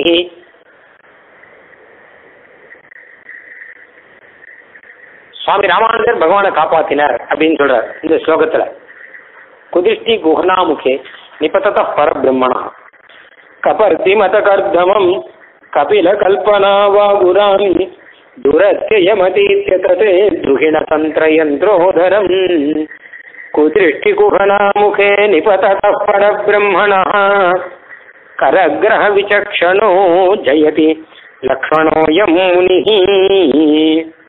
கபர்தி மதகர்தமம் இந்த பரபிரம்மமான சிவன் நாராயணன் இருக்காரோ இல்லையோ அவர் சுயம் பெரிய சேத்துக்குள்ள உள்ளுக்குள்ள விழ ஆரம்பிச்சார். அது சைவ மதம் அப்படிங்கிறது. பாசுபத மதம் அப்படின்னு காப்பாளியர்களுடைய மதம். கபாலம் அப்படின்னு சொல்ற மண்டையோட்டை தரிச்சு ஸ்மசான பஸ்தத்தை பூசிண்டு கபாலதாரியா இருந்துன்னு ஒரு மதத்தை பிரச்சாரத்தில் இருக்கும்போது அதுல போய் இவர் மாட்டிக்க நேர்ந்தார். அங்கிருந்து அந்த விஷயத்திலேருந்து மெதுவாக தப்பிச்சுன்னு வந்துட்டார் இவர். கபில கல்பனாவா குணம் அது மாதிரி சாங்கிய மதம் அப்படிங்கிறது வலை போடுற மாதிரி எல்லாரையும் வலை போட்டு பிடிக்கும்படி இருக்கு. அதுல இருந்தும் தப்பிச்சுட்டு வந்துட்டார். துரத்தியமதீத்யதது துருகிண தந்திர உதரம் இன்னும் இந்த மாதிரி என்னென்ன மதங்கள் இருக்கோ அங்க யோக சாஸ்திரம் அப்படின்னும் இன்னும் மற்ற மதங்கள்ல எல்லாத்தையும் மொத்தத்தையும் தாண்டி தப்பிச்சுட்டு வந்துட்டார். உபனிஷத் தரிசனம் அப்படிங்கிறது நிற்கிறது. ஏன்னா உபனிஷத்துல சொல்றது தான் ஸ்தாபிக்கிறது கடைசியில. இவெல்லாம் என்னென்ன சொன்னாலுமே சரி சைவ மதமாகட்டும் இல்ல காபில மதமாகட்டும் இதெல்லாம் உபநிடத்துக்கு விருத்தமா இருக்கு அப்படின்னு ஸ்தாபிக்கிறார் இங்க வியாசர் ஸ்தாபிச்சிருக்கார் ஸ்ரீ சங்கராச்சாரியர் ஸ்தாபிச்சிருக்கார் ராமானுஜாச்சாரியர் ஸ்தாபிச்சிருக்கார். இதெல்லாம் உபனிஷத் விருத்தங்கள் எல்லாம் அப்படின்னு சொல்லிருக்கார் இதுல இருந்துலாம் பெருமாள் தப்பிச்சுட்டாராம். ஏன்னா உபனிஷத்து இருக்கோ அதனால பெருமாள் தப்பிச்சுட்டார். ஆனா எங்க மாட்டின்றார்னா குதிருஷ்டி குஹனாமுகே இந்த உபனிஷத்தையே எடுத்துட்டு வியாக்கியானம் பண்றேன்னு சொல்லிட்டு பரமாத்மா சிவன் நாராயணன் இல்லைன்னு ஆரம்பிச்சா அங்க மாட்டின்னுட்டார் உபநிடத்து இருக்கிறபடினால பெருமாள் பிழைச்சார். அந்த உபநிடத்திலே பிறதத்துவமாக ஸ்ரீமன் நாராயண் தான் சொல்லிருக்கு அப்படின்னு நாராயண பரம் பிரம்மா தத்துவம் நாராயண பரஹா நாராயண பரோ ஜோதி ஆத்மா நாராயண பரஹா எச்ச கிஞ்சித் ஜகத்யஸ்மின் திருஷ்யதே ஸ்ரூயதே பிவா அந்தர்பகிஷ்ட தத் சர்வம் வியாபிய நாராயண ஸ்திதா அப்படின்னு சொல்லி சப்ரம்மா சசிவசேந்திர சோக்ஷர பரமஸ்வராடு அப்படின்னு பிரம்மா சிவன் உட்பட எல்லாருமே நாராயணன் தான் அப்படின்னு இருக்கு பிரம்மா நாராயண சிவச்ச நாராயண சக்கரச்ச நாராயண காலச்ச நாராயண திசச்ச நாராயண விதிஷச்ச நாராயண ஊர்துவஞ்ச நாராயண அதச்ச நாராயண அந்தர்பகிஷ்ட நாராயண நாராயண ஏவேதம் சர்வம் யத்பூதை யச்ச பவ்யம் நிஷ்கலங்கோ நிரஞ்சனோ நிர்விசங்கோ நிராக்கியாத சுத்தோ தேவ ஏகோ நாராயண நத்விதீயோஸ்தி கச்சித் அப்படிங்கிறது இப்போ உபநிடத்துகள்லாம் இப்படி சொல்லிருக்கும் போது இந்த உபநிடத்துகளுக்கே அர்த்தம் சொல்றேன் அப்படின்னு ஆரம்பிச்சு சிவன் நாராயணன் பரபிரம்மம் இல்லை அப்படின்னும் பரபிரம்மத்துக்கு கல்யாண குணங்கள்லாம் எதுவும் கிடையாது அப்படின்னும் பரபிரம்மத்துக்கு திருமேனின்னு சொல்றதெல்லாம் பொய் அப்படின்னும் பரபிரம்மம் இந்த ஜெகத்தை சிருஷ்டிச்சதுன்னா அந்த ஜெகத்தெல்லாம் பொய் அப்படின்னும் இப்படிலாம் சொல்லும்போது எல்லாத்தையும் தாண்டின்னு வந்து இங்க வந்து மாட்டின்னுட்டார் மாட்டின்னு தவிக்கிறாராம். யாரு? பரபிரம்மம். குதிருஷ்டி குகனாமுகே நிபதத பரபிரம்மணா. அவர் இதை எதிர்பார்க்கல. உபழத்து இருக்கிற வரைக்கும் நம்ம பத்திரமா இருப்போம் அப்படின்னு நினைச்சார். ஆனா உபழத்துக்கே இப்போ வந்து உபழத்து இருக்கு ஆனா இவர் பத்திரமா இல்லை. அப்படியே ஆயிடுச்சு. கரகிரக விசக்ஷணா அப்போ ராமானுஜர் தான் போய் கை கொடுத்தார். கை கொடுத்து அவர் எழுப்புற ஏன்னா அப்படியே கர கரகிரக விசக்ஷணோ ஜெயதி. லக்ஷ்மணோ எம் முனிஹி கரகிரக விசக்ஷணா அப்படிங்கிறார். ஏன்னா கை அப்படியே மேலே நீட்டுன்னு ஜலத்துக்குள்ள மாட்டின்றோம் கை மேலே நீட்டுருவான் காப்பாத்துங்க காப்பாத்துங்க கை நீட்டுவான்னு இல்லையோ அப்போ வந்து கையை பிடிச்சி தூக்குற மாதிரி இந்த பிரம்மமானது கையை மாத்திரம் நீட்டின்னு இருக்கான் அப்போ உள்ள போயிட்டு கையை மாத்திரம் நீட்டின்னு இருக்கு. நேர ராமானுஜர் போய் கை கொடுத்து அதை தூக்கி விட்டு உபரிடத்தினுடைய அர்த்தத்தை எல்லாம் சொல்லி உபரிடத்தையும் பெருமாளையும் சேர்த்து வச்சார் அப்படின்னு சொல்றது. அப்போ சாட்சாத் பரபிரம்மத்துக்கே ஆபத்துன்னா எதுன்னு கேட்டார் இந்த பிரமாணங்களை மாத்தி சொல்றதுனால வர ஆபத்து தான். உண்மையான பெரிய ஆபத்து. கோயில்ல போய் அந்த கோயில கொள்ளடிக்கிறதோ இல்ல கோயில்ல இருக்கிற பெருமாளுக்கு ஏதாவது பகவானுக்கு இதுவும் ஆபத்து தான். ஆனா அது பேராபத்துங்கிறது இதுதான். ஒரு கோயில் என்னன்னா பின்னாடி போய் வேற ஒருத்தர் பிரதிஷ்டை பண்ணுவோம் ஸ்ரீரங்கத்திலே இப்ப ரங்கநாதன் கொள்ளடிக்கணும்னு வந்தா இப்ப ரங்கநாதன் ஏழை பண்ணிட்டு போயிட்டா அங்க இருக்கவெல்லாம் அதுக்கப்புறம் கொள்ளக்காரெல்லாம் வந்துட்டு போனப்புறம் என்ன நடந்தது திருமொழியோ வேற ஒரு ரங்கநாதன் பிரதிஷ்டை பண்ணிட்டாவா? அந்த உள்ளூர்ல. இருக்கிற பாக்கி இருக்கிறோம். இன்னொரு ரங்கநாதன் விக்கிரத்தை அவன் வந்து அதை பிரதிஷ்டை பண்ணிட்டா இப்ப ரங்கநாதன் இல்லைங்கிறது ரங்கநாதன் இருக்கார். அதுக்கப்புறம் தான் இவர் வந்தார் கொஞ்ச நாள் கழிச்சு. எத்தனையோ வருஷங்கள் கழிச்சு வந்தார். வந்தா எவர் உண்மையான ரங்கநாதர் அப்படின்னு சொல்லும்படி ஆயிடுச்சு. இன்னைக்கும் ஸ்ரீரங்கத்தை பார்த்தோம்னா ரெண்டு தாயார் இருக்கார் மூலவர். ரெண்டு தாயார் எப்படி வந்தார் அப்படின்னா ஒரு தாயார் தான் அந்த கல்தரை சமர்ப்பிச்சுட்டார். அதுக்கப்புறம் அவ போனப்பறம் இன்னொரு தாயாரை இவ பிரதிஷ்டை பண்ணிட்டா. அப்புறம் தான் விஷயம் தெரிஞ்சது. உள்ளூர் வேற ஒரு தாயார் இருக்கார் அப்படின்னு. அப்புறம் அந்த கழுத்துல எடுத்து பார்த்தா உள்ள ஒரு தாயார் இருக்கு. இப்போ மூலவர் ரெண்டு மூலவர் எங்கேயாவது இருப்பாள். ஆனால் ஸ்ரீரங்கத்தில் இருக்கார். தாயார் சன்னதியில். ஸ்ரீரங்கம் கோயிலில் கல்திரை சமர்ப்பிச்ச இடம் இனிமேல் நிறையா இருக்குது அந்த திரை நீக்காமல் இருக்கு. இன்னைக்கும் இருக்கு. அந்த காலத்தில் கல்திரையை வச்சுட்டு போய் அந்த திரையை நீக்கினா தானே உள்ளே என்ன இருக்குன்னு தெரியும். இன்னும் நீக்கலை. இன்னும் நீக்கப்படாத இடங்கள் நிறையா இருக்குது கோயில் இன்றைக்கும் நம்ம பார்க்கலாம். நம்ம கண்ணுக்கு நேரம் பார்க்கலாம். பின்னாடி என்ன இருக்குன்னு தெரியாது அப்படிங்கிற மாதிரி. அது நீக்கிறது அவ்வளோ சுலபம் கிடையாது. கல் திரைனா என்ன? கல்லாலேயே செவ்வறு எடுக்கணும் பூர்த்தியாக இது இடிச்சாதான் எடுக்க முடியும். இடிக்கணும்னா அது கவர்மெண்ட் பெர்மிஷன்லாம் வாங்கணும். அதில் வேற என்ன பிரச்சனைகள்? நிறைய ஆர்கியாலஜி பிரச்சனைகள்லாம் இருக்கும். அதனால இதை யாரும் இன்னும் முயற்சி எடுக்கலை. முயற்சி எடுக்காத வரைக்கும் ஒரு விதத்தில் நல்லது. ஏதோ இருக்கு. அதோட நின்றுப்போம் உள்ள என்ன இருந்தால் நமக்கு எப்படி இருக்குங்கிறது தெரியாது. அதனால அப்படி கல்துறையை சமர்ப்பிக்கும் போது இன்னும் உத்தரப்பிரதேசம் பண்ணிட்டோம் அப்போ பெருமாளுக்கு வந்த பேராபத்து அப்படிங்கிறது இந்த முகமதியர்கள்னால வந்த ஆபத்து. அது விக்கிரகத்தை அவ திருடின்னு போறாங்கிறது காட்டிலும் அதை காட்டிலும் பெரிய ஆபத்து என்ன கேட்டோம்னா பிரமாணங்களை எடுத்துடுறாள் அப்படிங்கிறது தான் பெரிய ஆபத்து. அப்போ ஸ்ரீபாஷ்யத்துக்கு ஒரே வியாக்கியானமா இருக்கக்கூடிய இந்த சுதப்பிரகாஷியை அவன் கட்டாயம் கொளுத்திடுவான். இந்த இடத்துல வைக்கவே மாட்டான். ஆனால் ரங்கநாதனும் இப்போ இதில் தான் இருக்கார். இந்த சுதப்பிரகாசியில் இருக்காங்க சுதர்சன். அங்க போன ரங்கநாதன் ரங்கநாதன் நினைக்காத. இவர் தான் ரங்கநாதன். இங்கதான் பிரமாணத்துல அவர் இருக்கார். பிரமாணாதீனா பிரமேய ஸ்திதி. பிரமாணம் இல்லாட்டா அவர் இருந்தும் பிரயோஜனம் இருக்காது. அதனால இதை எப்படியாவது காப்பாற்றி கொடுக்கணும். அப்படின்னு ஸ்ரீபாஷ்யத்தை பத்தி சொல்லும்போது சுதப்பிரகாசியில முதல்ல ஆரம்பத்தில் அழகா ஒரு ஸ்லோகம் சொல்ற பிரபத்யே பிரணவாகாரம் பாஷ்யம் ரங்கமிவாகரம் பரஸ்ய பிரம்மணோ எத்திர சேஷித்துவம் ஸ்புடமீக்ஷியதே அந்த சீபாஷ்யத்தை பத்தி சொல்லும்போது அவர் சொல்றார் இந்த சீபாஷ்யம்ங்கிறது தான் ரங்கநாதன் இருக்கிற இடமா? அப்படிங்கிற எப்படின்னு கேட்டா ரங்கநாதன் எங்க இருக்காருன்னா பிரணவாக்காரன் விமானத்துல இருக்கார் பிரணவாக்காரன் பிரணவம்னா ஓங்காரம் அந்த ஓங்கார மாதிரி ஒரு விமானம் ஒன்று இருக்கு. அந்த விமானத்துக்குள்ள தான் ரங்கநாதன் இருக்கார். இப்போ அந்த விமானம் இருக்கு. பிரணவாக்கார விமானத்துல தான் பெருமாள் இருக்கார் அந்த மாதிரி சீபாஷ்யமும் பிரணவாக்கார விமானமா இருக்கும் அந்த மாதிரி இருக்கான். எப்படின்னு கேட்டா அகார உக்காரம் அகாரங்கள்லாம் சீபாஷ்யத்தில் ஆரம்பத்தில் அகாரத்தில் இருக்கும். நடுவில் உக்காரம் இருக்கு. கடைசியில் முடியும் போது மகாரத்தில் முடியுது இதெல்லாம் ஏதோ வெறுமையானா அங்கே வெளியில் போது போகாமல் இருப்பா பாஷ்யமா மாதிரி இதே மாதிரி கிடையாது. மொத்தம் ரங்கநாதன் திருவிழமாக வந்திருக்கு. அதனால் இது பிரணவாக்காரம் இது. அந்த மாதிரி அமைஞ்சது. அதனால ரங்கம் இவா இது இன்னொரு ரங்கம் இல்லை. அந்த ரங்கம் எப்படி பிரணவாக்கார ரங்கமோ அந்த மாதிரி இது இன்னொரு ரங்கம். ரங்கநாதன் இங்கே இருக்கார். பரஸ்ய பிரம்மணோ எத்திர. அங்க பரபிரம்மம் இருக்கு இங்கேயும் பரபிரம்மம் இருக்கார். சேஷித்துவம் ஸ்புடமீட்சதே அங்க சேஷியா இருக்கார் பெருமாள். சேஷினா சேஷன் ஆதிசேஷன் சேனத்துல இருக்கார். இங்கேயும் சேஷியா இருக்கார். அதான் நமக்கெல்லாம் சேஷியா இருக்காராம். ஜீவர்கள்லாம் பெருமாளுக்கு தாசன் சேஷன் அப்படின்னும் பெருமாள் சேஷிங்கிறது தானே சி சீபாஷன் சொல்றது.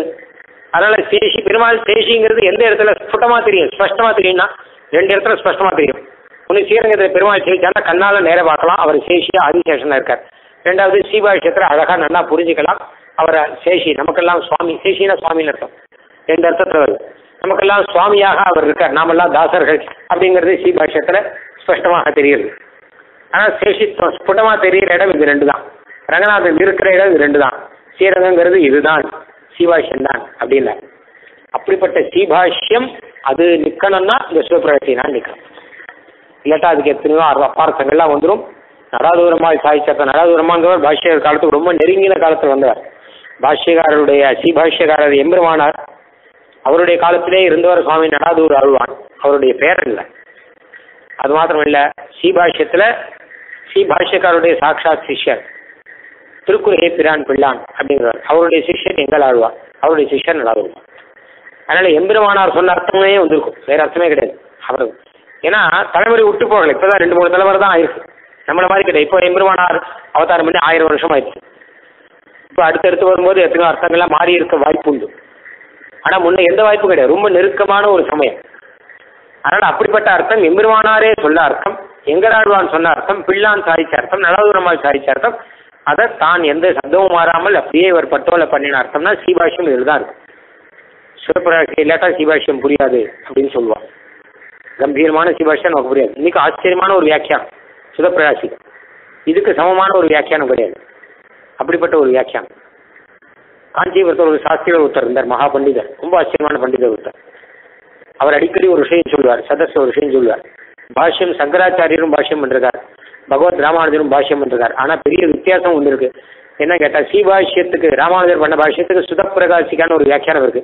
அந்த மாதிரி எங்களுக்கு இன்னும் வியாக்கியானம் யாரும் பண்ணலன்னு அவர் சாங்கர பாஷ்யத்துக்கு அந்த மாதிரியான ஒரு வியாக்கியானம் பண்ணல. ஏன்னா அத்தனை ரசமா இருக்குன்னு வருவார் அத்தனை அற்புதமா இருக்கு. அந்த மாதிரி ஒரு வியாக்கியானம் இங்க இது வரைக்கும் வரல. அப்படியே அவர் சாதிப்பார் சத்தியத்தை சொல்லுவார். அவர் பாஷ்யம் ரெண்டு இருக்கு இருந்தா கூட இந்த பாஷ்யம் நிறைய பேர் இருந்தா கூட அவர் மேல அதுக்கு வியாக்கியானம் இருக்க இல்லையோ ஆச்சாரியர் இருந்தா ஆச்சாரியருக்கு சிஷ்யனால பெருமைன்னுவா. ஆச்சாரியர்கள் சோமா இருந்தா கூட சிஷ்யனால சில பேருக்கு தான் பெருமை. அது மாதிரி வியாக்கியானத்தினால இதுக்கு பெருமை இருக்கு அப்படின்னு அவர் சாதிப்பார். எஸ்ஆர்கே சாஸ்திரியங்கிறவர் சாதிப்பார். அந்த மாதிரி அப்படிப்பட்ட ஒரு அற்புதமான ஒரு வியாக்கியானம் சீபாஷ்யத்துக்கே உயிர் கொடுக்கக்கூடிய ஒரு வியாக்கியானம். இது இருந்தாதான் சீபாஷ்யம் சீபாஷ்யம் இருந்தாதான் ரங்கநாதன். இல்லாட்டா ரங்கநாதன் இருந்தும் பிரயோஜனம் இல்லை. அதனால இதை நீர் தான் காப்பாற்றும். தேசியங்கிட்ட ஒப்படைக்கிறார் தேசியனை ஏன் தேர்ந்தெடுத்தார் அப்படின்னா இந்த சீபாஷத்தினுடைய பெருமை அவருக்கு தான் தெரியும். அந்த நடாதூரம்மாள் கோஷ்டிகளுடைய பெருமை அவருக்கு தான் தெரியும். நடாதூரம்மாளுடைய அனுகிரகத்தை சின்ன வயசுல வாங்கினவர் அவர். சீபாஷ்யத்துல சிற பரிச்சயம் பண்ணவர். சாதாரண நிறைய வாட்டி பரிச்சயம் பண்ணி நிறைய பேருக்கு காலக்ஷேபங்கள்லாம் சொன்னவர். மற்ற பேர்லாம் சீபாஷம்னாலே கிட்ட வர மாட்டேங்கிறான் யாரும். அது நமக்கு புரியாது. நம்முடைய நிலம் இல்லை நமக்கு விஷயம் இல்லை. அது சீவாஷ்யத்தில் சரணாகதியை பற்றி பெரிய அளவில் எதுவும் சொல்லலை. ஆனால் நமக்கு அது தேவையில்லை என்று சொன்னவர்கள் கூட உண்டு. இப்படிலாம் சொல்லி சீபாஷத்தை ஒதுக்கக்கூடிய ஒரு கோஷ்டி இருக்கு. அதுதான் அவருக்கு ரொம்ப கஷ்டம். இவர்கள் சீபாஷத்தை ஒதுக்கிட்டு பெருமாளை வேணா பிடிச்சுக்கலாம். ஆனால் பெருமாளே இங்கதான் இருக்காருங்கிறத அவ புரிஞ்சுப்பா பின்னாடி. அதனால இவர்களுக்கும் அவர்களுக்கும் எவர்களுக்கும் பெரிய உபகாரம் என்னன்னு கேட்டால் இந்த சீவாஷ்யத்தை காப்பாற்றணும் பெரிய உபகாரம். அதுக்கு இந்த சிவபிரகாசியை காப்பாற்றணும் இதனுடைய பிரபாவம் சுவாமி தேசியனுக்கு மட்டும்தான் தெரியும். அதனால அவர்கிட்ட இதை ஒப்படைக்கிறோம். ஒப்படைச்சு இந்த சிவபிரகாசிக்கு நீங்க எப்படியாவது காப்பாற்றணும் அப்படின்னு சரின்னு சொல்லிட்டு சுவாமி தேசியன் இப்போ அவெல்லாம் போயாச்சு. இவர் பின்னாடி வர இந்த ஓலையை கையில் எடுத்துட்ட அந்த அவருடைய குமாரர்கள் ரெண்டு பேர் இருந்தா அவளையும் கூட்டு நான் இங்கே இருக்கேன் நீ போடு கிளப்பிட்டார் அவர். இவர் விட்டு பிரியறதுக்கு மனம் இல்லை ஆனால் இப்போ வேற வழி இல்லை. ஏன்னா தூரத்தில் சைன்யங்கள்லாம் வர சப்தம் வந்துடுத்து புழுதியெல்லாம் வந்துடுச்சு காவேரியை தாண்டி வரணும்வா என்ன அவரையும் எடுத்துட்டு வேகமாக சுவாமி தேசியன் போற ஆனால் என்னதான் வேகமாக போனாலும் சைன்யம் வேக வர அளவு வேகத்தில் வர முடியாது. குதிரையில் வரவா? அவ என்ன வேகமாக வருவா? அதனால ரங்கநாதனை காப்பாற்றணும் போனவாள் கூட எவ்வளவு தூரம் தான் போக முடியும். அப்போ எத்தனையோ பேர் உயிரை கொடுத்துருக்கான் என்ன பண்ணாலும் தெரியும் முடியும் நீங்க ரங்கநாதனை இழப்பு பண்ணிட்டு போங்கோ நாங்க இருந்து இவாளோட சண்டை போடுறோம். அப்படிங்கிறா. என்ன சண்டை போடுறதுக்கு வரேன் ட்ரைனிங் எடுத்தாளா? இல்ல ஆர்மியில சேர்ந்தாளா? ஒன்றும் கிடையாது. சண்டை போட்டா என்ன நடக்கும்னா சண்டை போட்டா பிராணம் தியாகம் தான் உயிர் போகும். பின்னையும் எப்படி பண்றோம்னா நாங்க இருந்து சண்டை போடுற வரைக்கும் ஒரு ரெண்டு நிமிஷம் ஆகும் இல்லையோ அப்போ நீங்கள் எங்கேயாவது விதமான எடுத்துட்டு போகும் இப்படி ரெண்டு நிமிஷம் ரெண்டு நிமிஷம் எத்தனை ரெண்டு நிமிஷம் ஆச்சோ அத்தனை நிமிஷம் சேஃப் இல்லையோ பெருமாள் எப்படியாவது நீங்கள் காப்பாற்றுங்க அப்படின்னா நேரா அப்படியே போய் திருமாலிருஞ்சோல மலைக்கிட்ட மலைக்கு எடுத்துட்டு போய் மலையிலேருந்து ரங்கநாதர் கட்டின்னு கீழே உருண்டுட்டான். அவன். மலையில இந்த பக்கம் குதிச்சுட்டான். சைன் அதுக்கு மேலே வர முடியல. சரி போச்சு மொத்தம் போச்சுன்னு போயிட்டான். அவன் யாரும் குதிக்க முடியும். குதிச்சா உயிர் போகும். இன்னும் போனா போகட்டும் ரங்கநாதன் இருக்க. அப்படி. அதுக்கப்புறம் அவ போனப்புறம் கீழே நாலு பேர் போய் அந்த ரங்கநாதன் ஏற பண்ணிட்டு இப்படியெல்லாம் உயிரை விட்டு சண்டை போடுறேன்னு சொல்லிட்டு சண்டை போட்டு அவனோட வெறுமையான ஒரு கத்தி எடுத்துட்டு இப்படி அப்படி அப்படி இப்படின்னு சுற்றி கடைசியில் அவன் தலையை சீவிடுவான். சந்தோஷமா அதை வாங்கிடுவான் ரங்கநாதனை காப்பாற்றணும் காப்பாற்றணுங்கிறதுக்காக இப்படிலாம் இருக்கும்போது சுவாமி தேசியம் தான் மாதிரி பின்னாடி போகிற சிவகாசி எடுத்துனா அவன் பின்னாடி வந்துட்டே இருக்கா என்ன பண்றதுன்னே தெரியல. சுவாமி தேசியம் ஒழிஞ்சுட்டான் ஒரு மூலையில் இதெல்லாம் வச்சுன்னு ஒழிஞ்சுட்டான் ஒரு சைன்யம் வேகமாக போச்சு. எதிர்க்க யார் எதிர்படுறாளோ அவளை கொண்டுட்டு அவளுக்கு ஆத்திரம் வந்துடுத்து கோயில் ஒன்றும் இல்லை அப்படின்னு தெரிஞ்சு போச்சு. அதனால் எல்லாத்தையும் இருக்கிற நதி நகைகள்லாம் கொள்ளையடிச்சுட்டா. விக்கிரகம் இல்லைங்கிறது தெரிஞ்சு போச்சு. பெருமாள் விக்கிரகம் தாயார் விக்கிரகம் எல்லாம். அதனால வேகமாக வந்து எதிர்படுறவெல்லாம் வீசிண்டு வாழ் வீசிண்டு அப்படியே வேகமாக போயிட்டான் அவள் போனப்போ அப்புறம் தேசியம் மெதுவாக வெளியில் வந்து இதை மறுபடியும் இந்த ஓலையை எடுத்து வேகமாக வர அப்பதான் பெரிய ஆபத்து ஒன்று வந்தது. பின்னாடியே அடுத்த சைன்யம் வந்தது.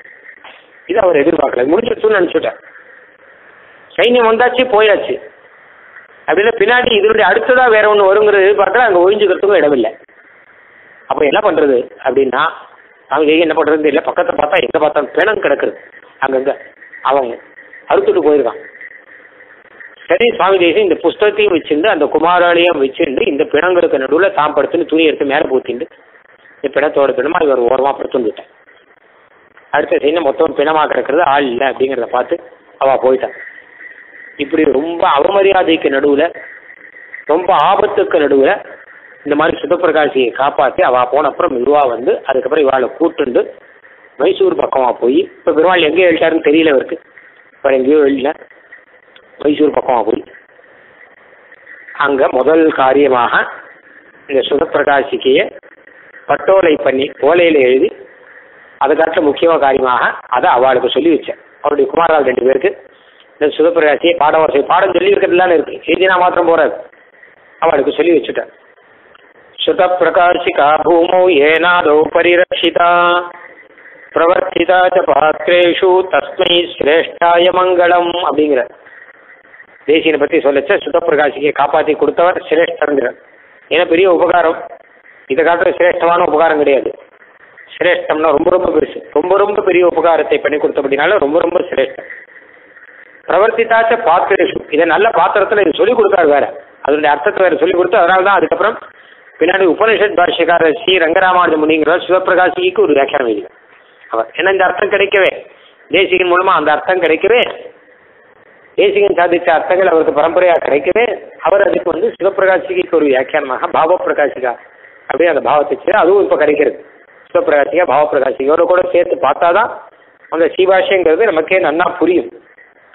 அது மாத்திரம் இல்லை இந்த சீபாஷத்தில் யாருக்கு என்னென்ன சந்தேகம் வருமோ யாருக்கு என்னென்ன ஆட்சேபம் வருமோ எல்லாத்தையும் கண்டிக்கிறதுக்காக எல்லாத்தையும் சரியாக்கிறதுக்காக அதீன சாராவளி தத்துவட்டீகை சததூஷினி இந்த மாதிரி பல கிரந்தங்கள்லாம் சுவாமி தேசியம் எழுதியிருக்க எல்லாத்தையும் காப்பாற்றி கொடுத்தார். சிவபிரகாசியும் காப்பாற்றி கொடுக்குறார். டீகாயா டீகையில் என்ன இருக்குன்னு எழுதுறேன் ஆ சிவபிரகாசியும் காப்பாற்றி சீபாஷத்தையும் காப்பாற்றி கொடுத்தவர் சுவாமி தேசியம் தான். அதனால தான் என்ன பண்ணுறான்னு கேட்டால் சிவபிரகாசியை காப்பாற்றினார் சீபாஷ்யத்தை காப்பாற்றினார் சிவபாஷி மாத்திரம் இல்லை இதை காப்பாற்றினார் சீபாஷியத்தை காப்பாற்றினார் திக்கட்டும் புகழ் சீபாஷ்யத்தை தெளிய உரைத்திருநாள் வாதாசனவரர் இவரென வருமா பாஷ்யம் வகை பெறுனார் அதாவது அழகா என்ன ஒரு அர்த்தம் சொல்றேன்னா இது பல அர்த்தம் சொல்றார். என்ன அர்த்தம் சொல்ற சீபாஷ்யங்கிறது உத்தமமான பாஷ்யம். எல்லா பாஷ்யத்தை காட்டிலும் பெருசு இது. ஏன்னு கேட்டால் சரஸ்வதி தேவியை சி பாஷ்யம் அப்படின்னு திருநாமம் வச்சிருக்கார். எம்பெருமானாருக்கு சி பாஷ்யக்காரர் அப்படின்னு திருநாமத்தை அவர் கொடுத்துருக்கார். அப்படிப்பட்ட உத்தமமான பாஷ்யம் அது போகும்படி இருந்த காலத்தில் அதுக்கு புத்துயிர் கொடுத்தவர் சுவாமி தேசியர் இந்த மாதிரி. இல்லைன்னா அது போயிருக்கும். அதை அதை இயற்றினவர் அதை அருளி செய்தவர் பாஷ்யக்காரர். அதுக்கு மறுபடியும் ஒரு புத்துயிர் கொடுக்க வேண்டிய சமயத்தில் அது புத்துயிர் கொடுத்து அதை வகை பெற வச்சவர் அந்த சீபாஷத்துக்கு இன்னும் ஏதாவது சந்தேகம் வந்தால் அதெல்லாம் போக்கடிச்சு அது உண்மையாக நிலை நிற்க வச்சவர். சுவாமி தேசியம் இல்லாட்டா நிறைய சந்தேகங்கள்லாம் எல்லாம் வந்து கடைசியில் சீபாஷ்யங்கிறது நமக்கு தேவையில்லைன்னு ஒதுக்கியிருப்போம். அதனால வருமா பாஷ்யம் வகை பெறுநாள் அப்படின்னு சொல்லி திக்கட்டும் புகழ் சீபாஷ்யத்தை தெளிய உரைத்திடுவார். அது மாத்திரம் இல்லை அதை பிரச்சாரம் பண்ணி திக்கட்டிலையும் அதனுடைய பிரபாவத்தை பரப்பினவரும் சுவாமி தேசிகன் தான். பல காரியங்கள் இருக்கிறபடினால அப்படின்னு எல்லா விதத்தினாலையும் சீபாஷ்யத்தை ஸ்தாபனம் பண்ணவர் அப்படின்னு ஆச்சு. இந்த பிரபாவத்தை இந்த திருநாமத்தில் அழகா சொல்றார். இதை நாம என்னென்னைக்குமே மறக்கக்கூடாதுங்கிறதுக்காக. அது சொல்றார் சிவபிரகாசிக்கா பூமோ ஏனாதோ பரிரட்சிதாங்கிற ஸ்லோகம் பின்னாடி யாரோ பண்ணது கிடையாது. சுவாமி தேசியன் ஏழு இருக்கச்சி அவருடைய குமாரரே பண்ணது. அவருடைய குமாரரே வந்து சிவபிரட்சியை இவர் தான் காப்பாற்றி கொடுத்தார். எங்களுக்கெல்லாம் பரம உபகாரம் பண்ணார். பரமசிரேஷ்டர் அப்படிங்கிறத அவரே அருளி செய்கிறார். அதனால எதுக்காக சொல்றேன்னா இந்த காலத்துல எது சொன்னாலும் பின்னாடி கல்பிதம் தானே முன்னாடி கிடையாது. எத்தனை சொன்னாலும் சரி. சுவாமி தேசிகன் பிரபாவமாக நாம எதை சொன்னாலும் அது பின்னாடி யாரோ சொல்லிருக்கா முன்னாடி கிடையாதுன்னு சொல்லக்கூடியவர்கள் பல பேர் ஆனால் இன்னைக்கு ஸ்ரீரங்கத்துல ரங்கநாதன் இருக்கிறதோ இல்ல நம்ம கையில ஸ்ரீபாஷ்யம்ங்கிறது கிடைக்கிறதோ இது மொத்தத்துக்கும் காரணம் சுவாமி தேசிகன் தான். ஏன் அத்தனை பிரபாவம் அவருக்கு அப்படி வந்திருக்குன்னா அதுதான் அவதாரம்னு பெயர். சுவாமி தேசிகனை வந்து நமக்கு சமமா நினைக்கும் போது தான் இந்த பிரச்சனை எல்லாம் வரும். அவர் திருவேங்கடமுடைய அவனுடைய ஒரு சங்கல்பத்தினாலே எம்பெருமானாருடைய சங்கல்பத்தினாலே வந்த அவதாரம் அப்படிங்கிறது புரிஞ்ச போது எந்த பிரச்சனையும் வராது. பாடுவார் இருக்கார் நம்மாழ்வார் இருக்கார். நம்மாழ்வார் கிட்ட நிறைய பேர் வந்து என்னென்னமோ கேள்வி எல்லாம் கேட்கறது முடியாது கேட்டால் அவர் அவதாரங்கிறது புரியாதபடினால அவர் பிராமணரா? அவருக்கு தமிழ் சம்ஸ்கிருதம் தெரியுமா? இப்படிலாம் கேட்பார். ஆனா அவர் அவர் நம்மாழ்வாருங்கிறது அவதார் பெருமாள் வந்து இந்த கலிகாலத்தில் இங்க வந்து சரணாகதி தர்மத்தையும் அதுக்கப்புறம் வந்து நவகீர்த்தன தர்மத்தையும் இங்க கலிகாலத்துல முதல்ல முதல்ல பிரவர்த்தனம் பண்ணணுங்கிறதுக்காக பெருமாள் வந்து மேயர்வார மதினால மருளி அவரை கொண்டு பாட வச்சிருக்கார். முத முதல்ல வந்தது. நமக்கு எல்லாருக்கும் தெரியும். பிரபாவம் தெரியாதோ ஏதாவது சொல்லுவார் அது மாதிரி சுவாமி தேசியருடைய பிரபாவம் தெரியாதவர்கள் அவரை பற்றி என்னென்னவோ சொல்லட்டும். ஆனால் நாமெல்லாம் இதை அனுசந்தானம் பண்ணணும் அப்படிங்கிறது ரொம்ப முக்கியம். இந்த சிவபிரகாசிகா பூமோ ஏனாதோ பரிரட்சிதாங்கிறது இன்னைக்கும் நமக்கு சீபாஷியங்கிறது ரொம்ப ரொம்ப முக்கியம். எம்பெருமானார் என்ன சொல்லியிருக்காருன்னு கேட்டா சீபாஷ்யத்தை வாசித்தும் கேட்டும் பிரவர்த்திப்பித்தல் அப்படின்னு பிரதம கைங்கரியமா சொல்லிருக்காரு ரகசிய திரிசாத்தில் வரப்போகுது. எம்பெருமான் தன்னுடைய அந்திம தசையிலே கடைசி காலத்துல அவர் கிடப்புல சயனத்துல இருந்தபோது அப்ப அஞ்சு கட்டளை சொன்னார் அவருடைய சிஷியர்களுக்கு. என்ன பண்ணணும் நாங்கெல்லாம் கேட்டாவா? எங்களுக்கு இனிமே ஏதாவது நீங்க ஒரு உபதேசம் பண்ணுங்க. நாங்க இனிமே என்ன பண்ணணும்னு சொல்லிட்டு. நாங்களும் உங்க கூட வந்துடுறோம். அப்படின்னு பிராணத்தியாகம் பண்ணா கிளம்பினா எல்லாரும். சீபாஷ்யக்காரரை விட்டுட்டு நாங்க இருக்க முடியாது. அப்படின்னு பிராணத்தியாகம் பண்ண கிளம்பினா. அப்போ அவளுக்கு சில வார்த்தைகள் அருள் செய்தார். அதுல ரொம்ப ஆச்சரியமான வார்த்தைகள் அதெல்லாம் பிராணத்தியாகம் பண்ண என்னுடைய வியோகத்துல கஷ்டப்படக்கூடாதுங்கிறார் அவர். பிராணத்தியாகம் பண்றதெல்லாம் புத்திசாலித்தனம் கிடையாது. என்ன பா- என்ன பிள்ளான் இருக்க குறை என்னங்கிறார். பிள்ளான் இருக்கார் அடுத்து நான் சம்பிரதாயம் இல்லாம போயிடுதா எம்பெருமானார் அதோடு கூட சம்பிரதாயம் முடிஞ்சு போச்சு. குரு பரம்பரை இன்னாரோட முடிஞ்சு போச்சு. இவரோட முடிஞ்சு போச்சு. அப்படின்னு இருந்தா வருத்தப்படணும். குரு பரம்பரை தான் இன்னி வரைக்கும் இருக்கே. அடுத்து எம்பெருமானாருக்கு பின்னாடி திருக்குறையை பிரான் பிள்ளான் இருக்கார். திருக்குறையை பிரான் பிள்ளானுக்கு பிறகு எங்களாழ்வான் இருக்கார். அதுக்கப்புறம் வந்து நலாதுரம்மாள் இருக்கார் அதுக்கப்புறம் அப்புல்லா இருக்கார் அதுக்கப்புறம் தேசியனுக்கு இது வளர்ந்துன்னு வருது இன்னி வரைக்கும் வளர்ந்துன்னு வந்திருக்கு. குரு பரம்பரை முடிஞ்சு போயிடுத்து அப்படின்னு சொல்றவா வேணா இதை பத்தி கவலைப்படாது. ஆனா லக்ஷ்மீநாத சமாரம்பாம் நாதயாமுன மத்தியமாம் அஸ்மதாச்சாரிய பரியந்தாம். இப்போ அடியனை பொறுத்த வரைக்கும் குரு பரம்பரை எங்க முடியுறதுன்னா எங்க ஆச்சாரியங்களோட முடியுது. ஏன்னா அது வரைக்கும் வந்திருக்கு. அதோட எங்க குரு பரம்பரை முடியுது. ஏன்னா அடுத்து வரும்போது இன்னும் மேலே வரும். அடுத்து பின்னாடி யாராவது அவருடைய ஆச்சாரியன் வரைக்கும் இருக்கு அப்படின்னு தானே சொல்லுவார் இதுதான் பூர்வர்களுடைய அனுசந்தானம் அதனால தான் அந்த அர்த்தங்கள்லாம் அப்படியே நீக்கும் நமக்கு கிடைச்சிருக்கு. அப்படிதானே இருக்கு? இது விட்டு போன குரு பரம்பரை இல்லை இது தொடர்ந்து வரக்கூடிய ஒரு குரு பரம்பரை. அப்படிப்பட்ட குரு பரம்பரைக்கு தான் ஏற்பாடு பண்ணவர் ஸ்ரீபாஷ்யகாரர் எம்பெருமானார். அப்போ எம்பெருமானோட பொறுத்து நீங்க எப்படி நினைச்சுங்க? அது கிடையாது. சம்பிரதாயம் இருக்கு பிள்ளான் இருக்காரு. ஆக பிள்ளான் இருக்க குறை என்ன? சம்பிரதாயம் இருக்க குறை என்ன? அப்படின்னு சொன்னார். இருந்தா கூட அவளுக்கெல்லாம் சமாதானம். நாங்கள் என்ன பண்ணணும்? அப்படிங்கிற சரி இருக்கோம். சம்பிரதாயத்தில் இருக்கோம். எங்களுக்கு ஏதாவது ஒரு நல்வார்த்தைகள் சொல்லணும். எங்களுக்கு கட்டளை இடணும். இது எம்பெருமானாருடைய கட்டளை அப்படின்னு சொல்லி நாங்கள் அது வந்து பரிபாலனம் பண்ணிட்டு இருக்கோம் அப்படின்னு கேட்டா அப்ப எம்பெருமானார் அஞ்சு கட்டளை சொன்னாராம். அதுல முதல் கட்டளை சீபாஷ்யத்தை வாசித்தும் கேட்டும் பிரவர்த்தித்தல் சீபாஷ்யத்தை வாசிச்சு சீபாஷ்யத்தை கேட்டு சீபாஷ்யத்தை லகத்துல பறக்கணும் இதுதான் முதல் கட்டளை. அதுக்கு யோக்கியதை இல்லையாகில் அது முடியல அப்படின்னா அப்ப ரெண்டாவது சொல்றேன். திவ்ய பிரபந்தங்களை. திவ்ய பிரபந்தத்தை வாசித்து பிரவர்த்தனம் பண்ணணும். அப்படின்னு சொல்லிட்டு அடுத்தது சாதிக்கிறேன் அதற்கு யோக்கியதை இல்லையாகில் அப்படிங்க உகந்தருளின திவ்ய தேசங்களிலே அப்படின்னு உகந்தருளின திவ்ய தேசங்களிலே எம்பெருமானுக்கு கைங்கரியம் பண்றதெல்லாம் இதெல்லாம் சொல்லியிருக்கு அதற்கு யோகியதை இல்லையாகில் அப்படின்னு ஒன்று ஒன்றா சாதிக்கிறார் ஜெயமந்திர நிஷ்டனாக ஜெயமந்திர அனுசந்தானம் பண்ணிட்டு இருக்கும் அதுக்குமே யோகியதை இல்லையாகில் தன்னுடையவன் என்று அபிமானித்திருப்பார் ஒரு சீவேஸ்வரன் பக்கத்திலே ஒதுங்கி வருகிறார் ஏன்னா ஜனங்கள் வந்து எல்லாரும் ஒரே மாதிரி ஞானிகளாக இருப்பாங்க அப்படின்னா எதிர்பார்க்க முடியாது. என்ன பண்ணணும் கேட்டா இவன் என்னை சேர்ந்தவன் சொல்ற அளவு ஒரு சீவிஷ்ணன் அவனை பிடிச்சுக்கணும். அவனுடைய அபிமானத்துல இருக்கணும். ஒதுங்கி இருக்கணும். அதுல. மொத்த காரியமும் அவருக்கு செஞ்சு கொடுத்து இதோ இவன் இருக்கா? எனக்கு என்ன கவலை? ஏன்பா நீ இந்த காரியம் பண்ணு? அவன் எதை சொன்னாலும் செய்வான். அப்படின்னு அவர் சொல்ற மாதிரி தன்னுடையவன் அப்படின்னு இருந்தா அதுவே போதும். அதுவே மோட்சத்தை கொடுத்துரும். ஏன்னா அவர் மோட்சத்துக்கு போகும்போது இவரும் மோட்சத்துக்கு போயிடுவான். தன்னுடையவன் அவர் நினைச்சுட்டாருன்னா இவன் தன்னுடைய கூட்டிட்டு போகாம அவர் போக மாட்டேன். தான் சரணாகதி பண்ணும்போது இவருக்கு சேர்த்து தான் பண்ணுவார் அவர். அதனால அப்படிப்பட்ட ஒரு சீவேஸ்தான் பக்கத்தில் உதவி இப்படி பாஷகாரர் சொல்லும்போது இதான் ராமானுஜாரிய திவ்யாஜ்ஞா அப்படின்னு பேர் இதுக்கு ராமானுஜாரிய திவ்யாஜ்ஞா வர்த்ததாம் அபிவர்த்ததாம். ராமானுஜாரிய திவ்யாஜ்ஞா பிரதிவாசரமுஜ்வலா திகந்தவ்யாபினி பூயாத் சாகி லோகஹிதைஷினி. ராமானுஜருடைய இந்த திவ்யாஜ்ஞைகள் அஞ்சு இருக்கோ இல்லையோ இது எல்லா இடத்துலையும் பரவணும். சீபாஷ்யம் பரவணும். திவ்ய பிரபந்தம் பரவணும். துவயமந்திரம் பரவணும். சீவேஸ்வரருடைய பிரபாவம் பரவணும். எல்லா இடத்துலையும் வைஷ்ணவர்கள் நிறைய இருக்கணும். புலிக புலிக புலிகாது ச- திகந்த வியாபினி. லோகம் முழுக்க வியாபிச்சிடணும். எல்லா துக்குகளையும் வியாபிச்சிருக்கணும். ஏன் இப்படி சொல்றோங்கோ? என்ன உங்க மதம் தான் இருக்கணுமா கேட்டா சாகி லோக ஹிதைஷினி லோகத்துக்கு ஹிதத்தை தான் செய்யும் இது. எல்லாருக்கும் நல்லது தான் செய்யுமே தவிர இது மத பிரச்சாரம் இல்லை இது ஹித பிரச்சாரம் இதான் என்னுடைய மதம் இதை ஏற்றுக்கோ. அப்படி மத பிரச்சாரத்துக்கு சொல்லல. எம்பெருமான் நாராயணுக்கு தாசர்கள்ங்கிறது உங்களுக்கு ஹிதம். எல்லாருக்கும். அதனால அந்த ஹிதத்தை சொல்றது இது. அதனால ஹித பிரச்சாரம் இதை பண்ணிட்டு இருக்கோம் அதனால இதை பண்ணுங்கோ அப்படின்னு சொல்றா. இதுதான் நம்ம நித்தியம் சொல்லிட்டு இருக்கோம். அந்த ராமானுஜருடைய திவ்யாஜ்ஞையில முதல் ஆஜ்ஞை என்ன? கேட்டா சிவாசிய பிரவர்த்தனம் அப்படிங்கிறதான முதல் ஆஜ்ஞை. சிவாசியம் இருந்தால் தானே சிவாசிய பிரவர்த்தனம் நடக்கும். அப்ப அந்த சிவாசியத்தை பிரவர்த்தனத்தை பண்ணி சிவாசியத்தை பிரவர்த்தனம் பண்ணும்படி நமக்கும் கொடுத்தவர் யாரு? அப்படின்னா அவங்க தேசிகன் தானே. இந்த சீபாஷ்யமே வேண்டாம் அப்படின்னு ஒதுக்கக்கூடிய காலம் ஒன்று வரைச்ச அது இன்னைக்கும் ஸ்தாபிச்சு வச்சா நம்ம ஆச்சாரியர்கள் சுவாமி தேசியன் அனுகிரகத்தினாலே வந்த பரம ஆச்சாரியர்கள் இன்னைக்கும் ஸ்தாபிச்சு வச்சிருக்காங்கிறத நம்ம நேர பார்த்துட்டு அதனால இப்படி நம்ம சம்பிரதாயத்துக்கு ஒரு பெரிய ஒரு உபகாரத்தை சுவாமி தேசிகன் சொல்ல போனா அதனால தான் சிரேஷ்டங்கிறார். சுவாமி தேசிகன் சம்பிரதாயத்துக்கு பண்ண உபகாரம்னா நூற்று கணக்கில் இருக்கு. அதுல முதல் அத்தியந்த சிரேஷ்டமானதுன்னு சொல்லி இந்த உபகாரத்தை தான் சொல்லணும். சுதப்பிரகாசியை காப்பாற்றி கொடுத்த உபகாரம் தான் ரொம்ப ரொம்ப சிரேஷ்டம் அப்படின்னு சொல்லணும். இதன் மூலமாக ரங்கநாதனையும் திருமாலையும் காப்பாற்றி கொடுத்திருக்கார் அப்படிங்கிறத நாம பார்க்கிறோம். அதனால இந்த திருநாமத்திலே அழகாக இந்த உபகாரத்தை ஸ்மரிச்ச தொடர்ந்து இதுல இன்னும் சொல்ல வேண்டிய சில விஷயங்கள்லாம் இருக்கு. அதெல்லாம் குறித்து அடுத்த மூணு திருநாமங்கள் இருக்கு. அதை நம்ம அடுத்த காலக்ஷேபத்தில் பார்க்கலாம். கவிதார்க்கிக சிம்ஹாய கல்யாண குணசாலினே ஸ்ரீமதே வெங்கடேஷாய வேதாந்த குரவே நமஹம்.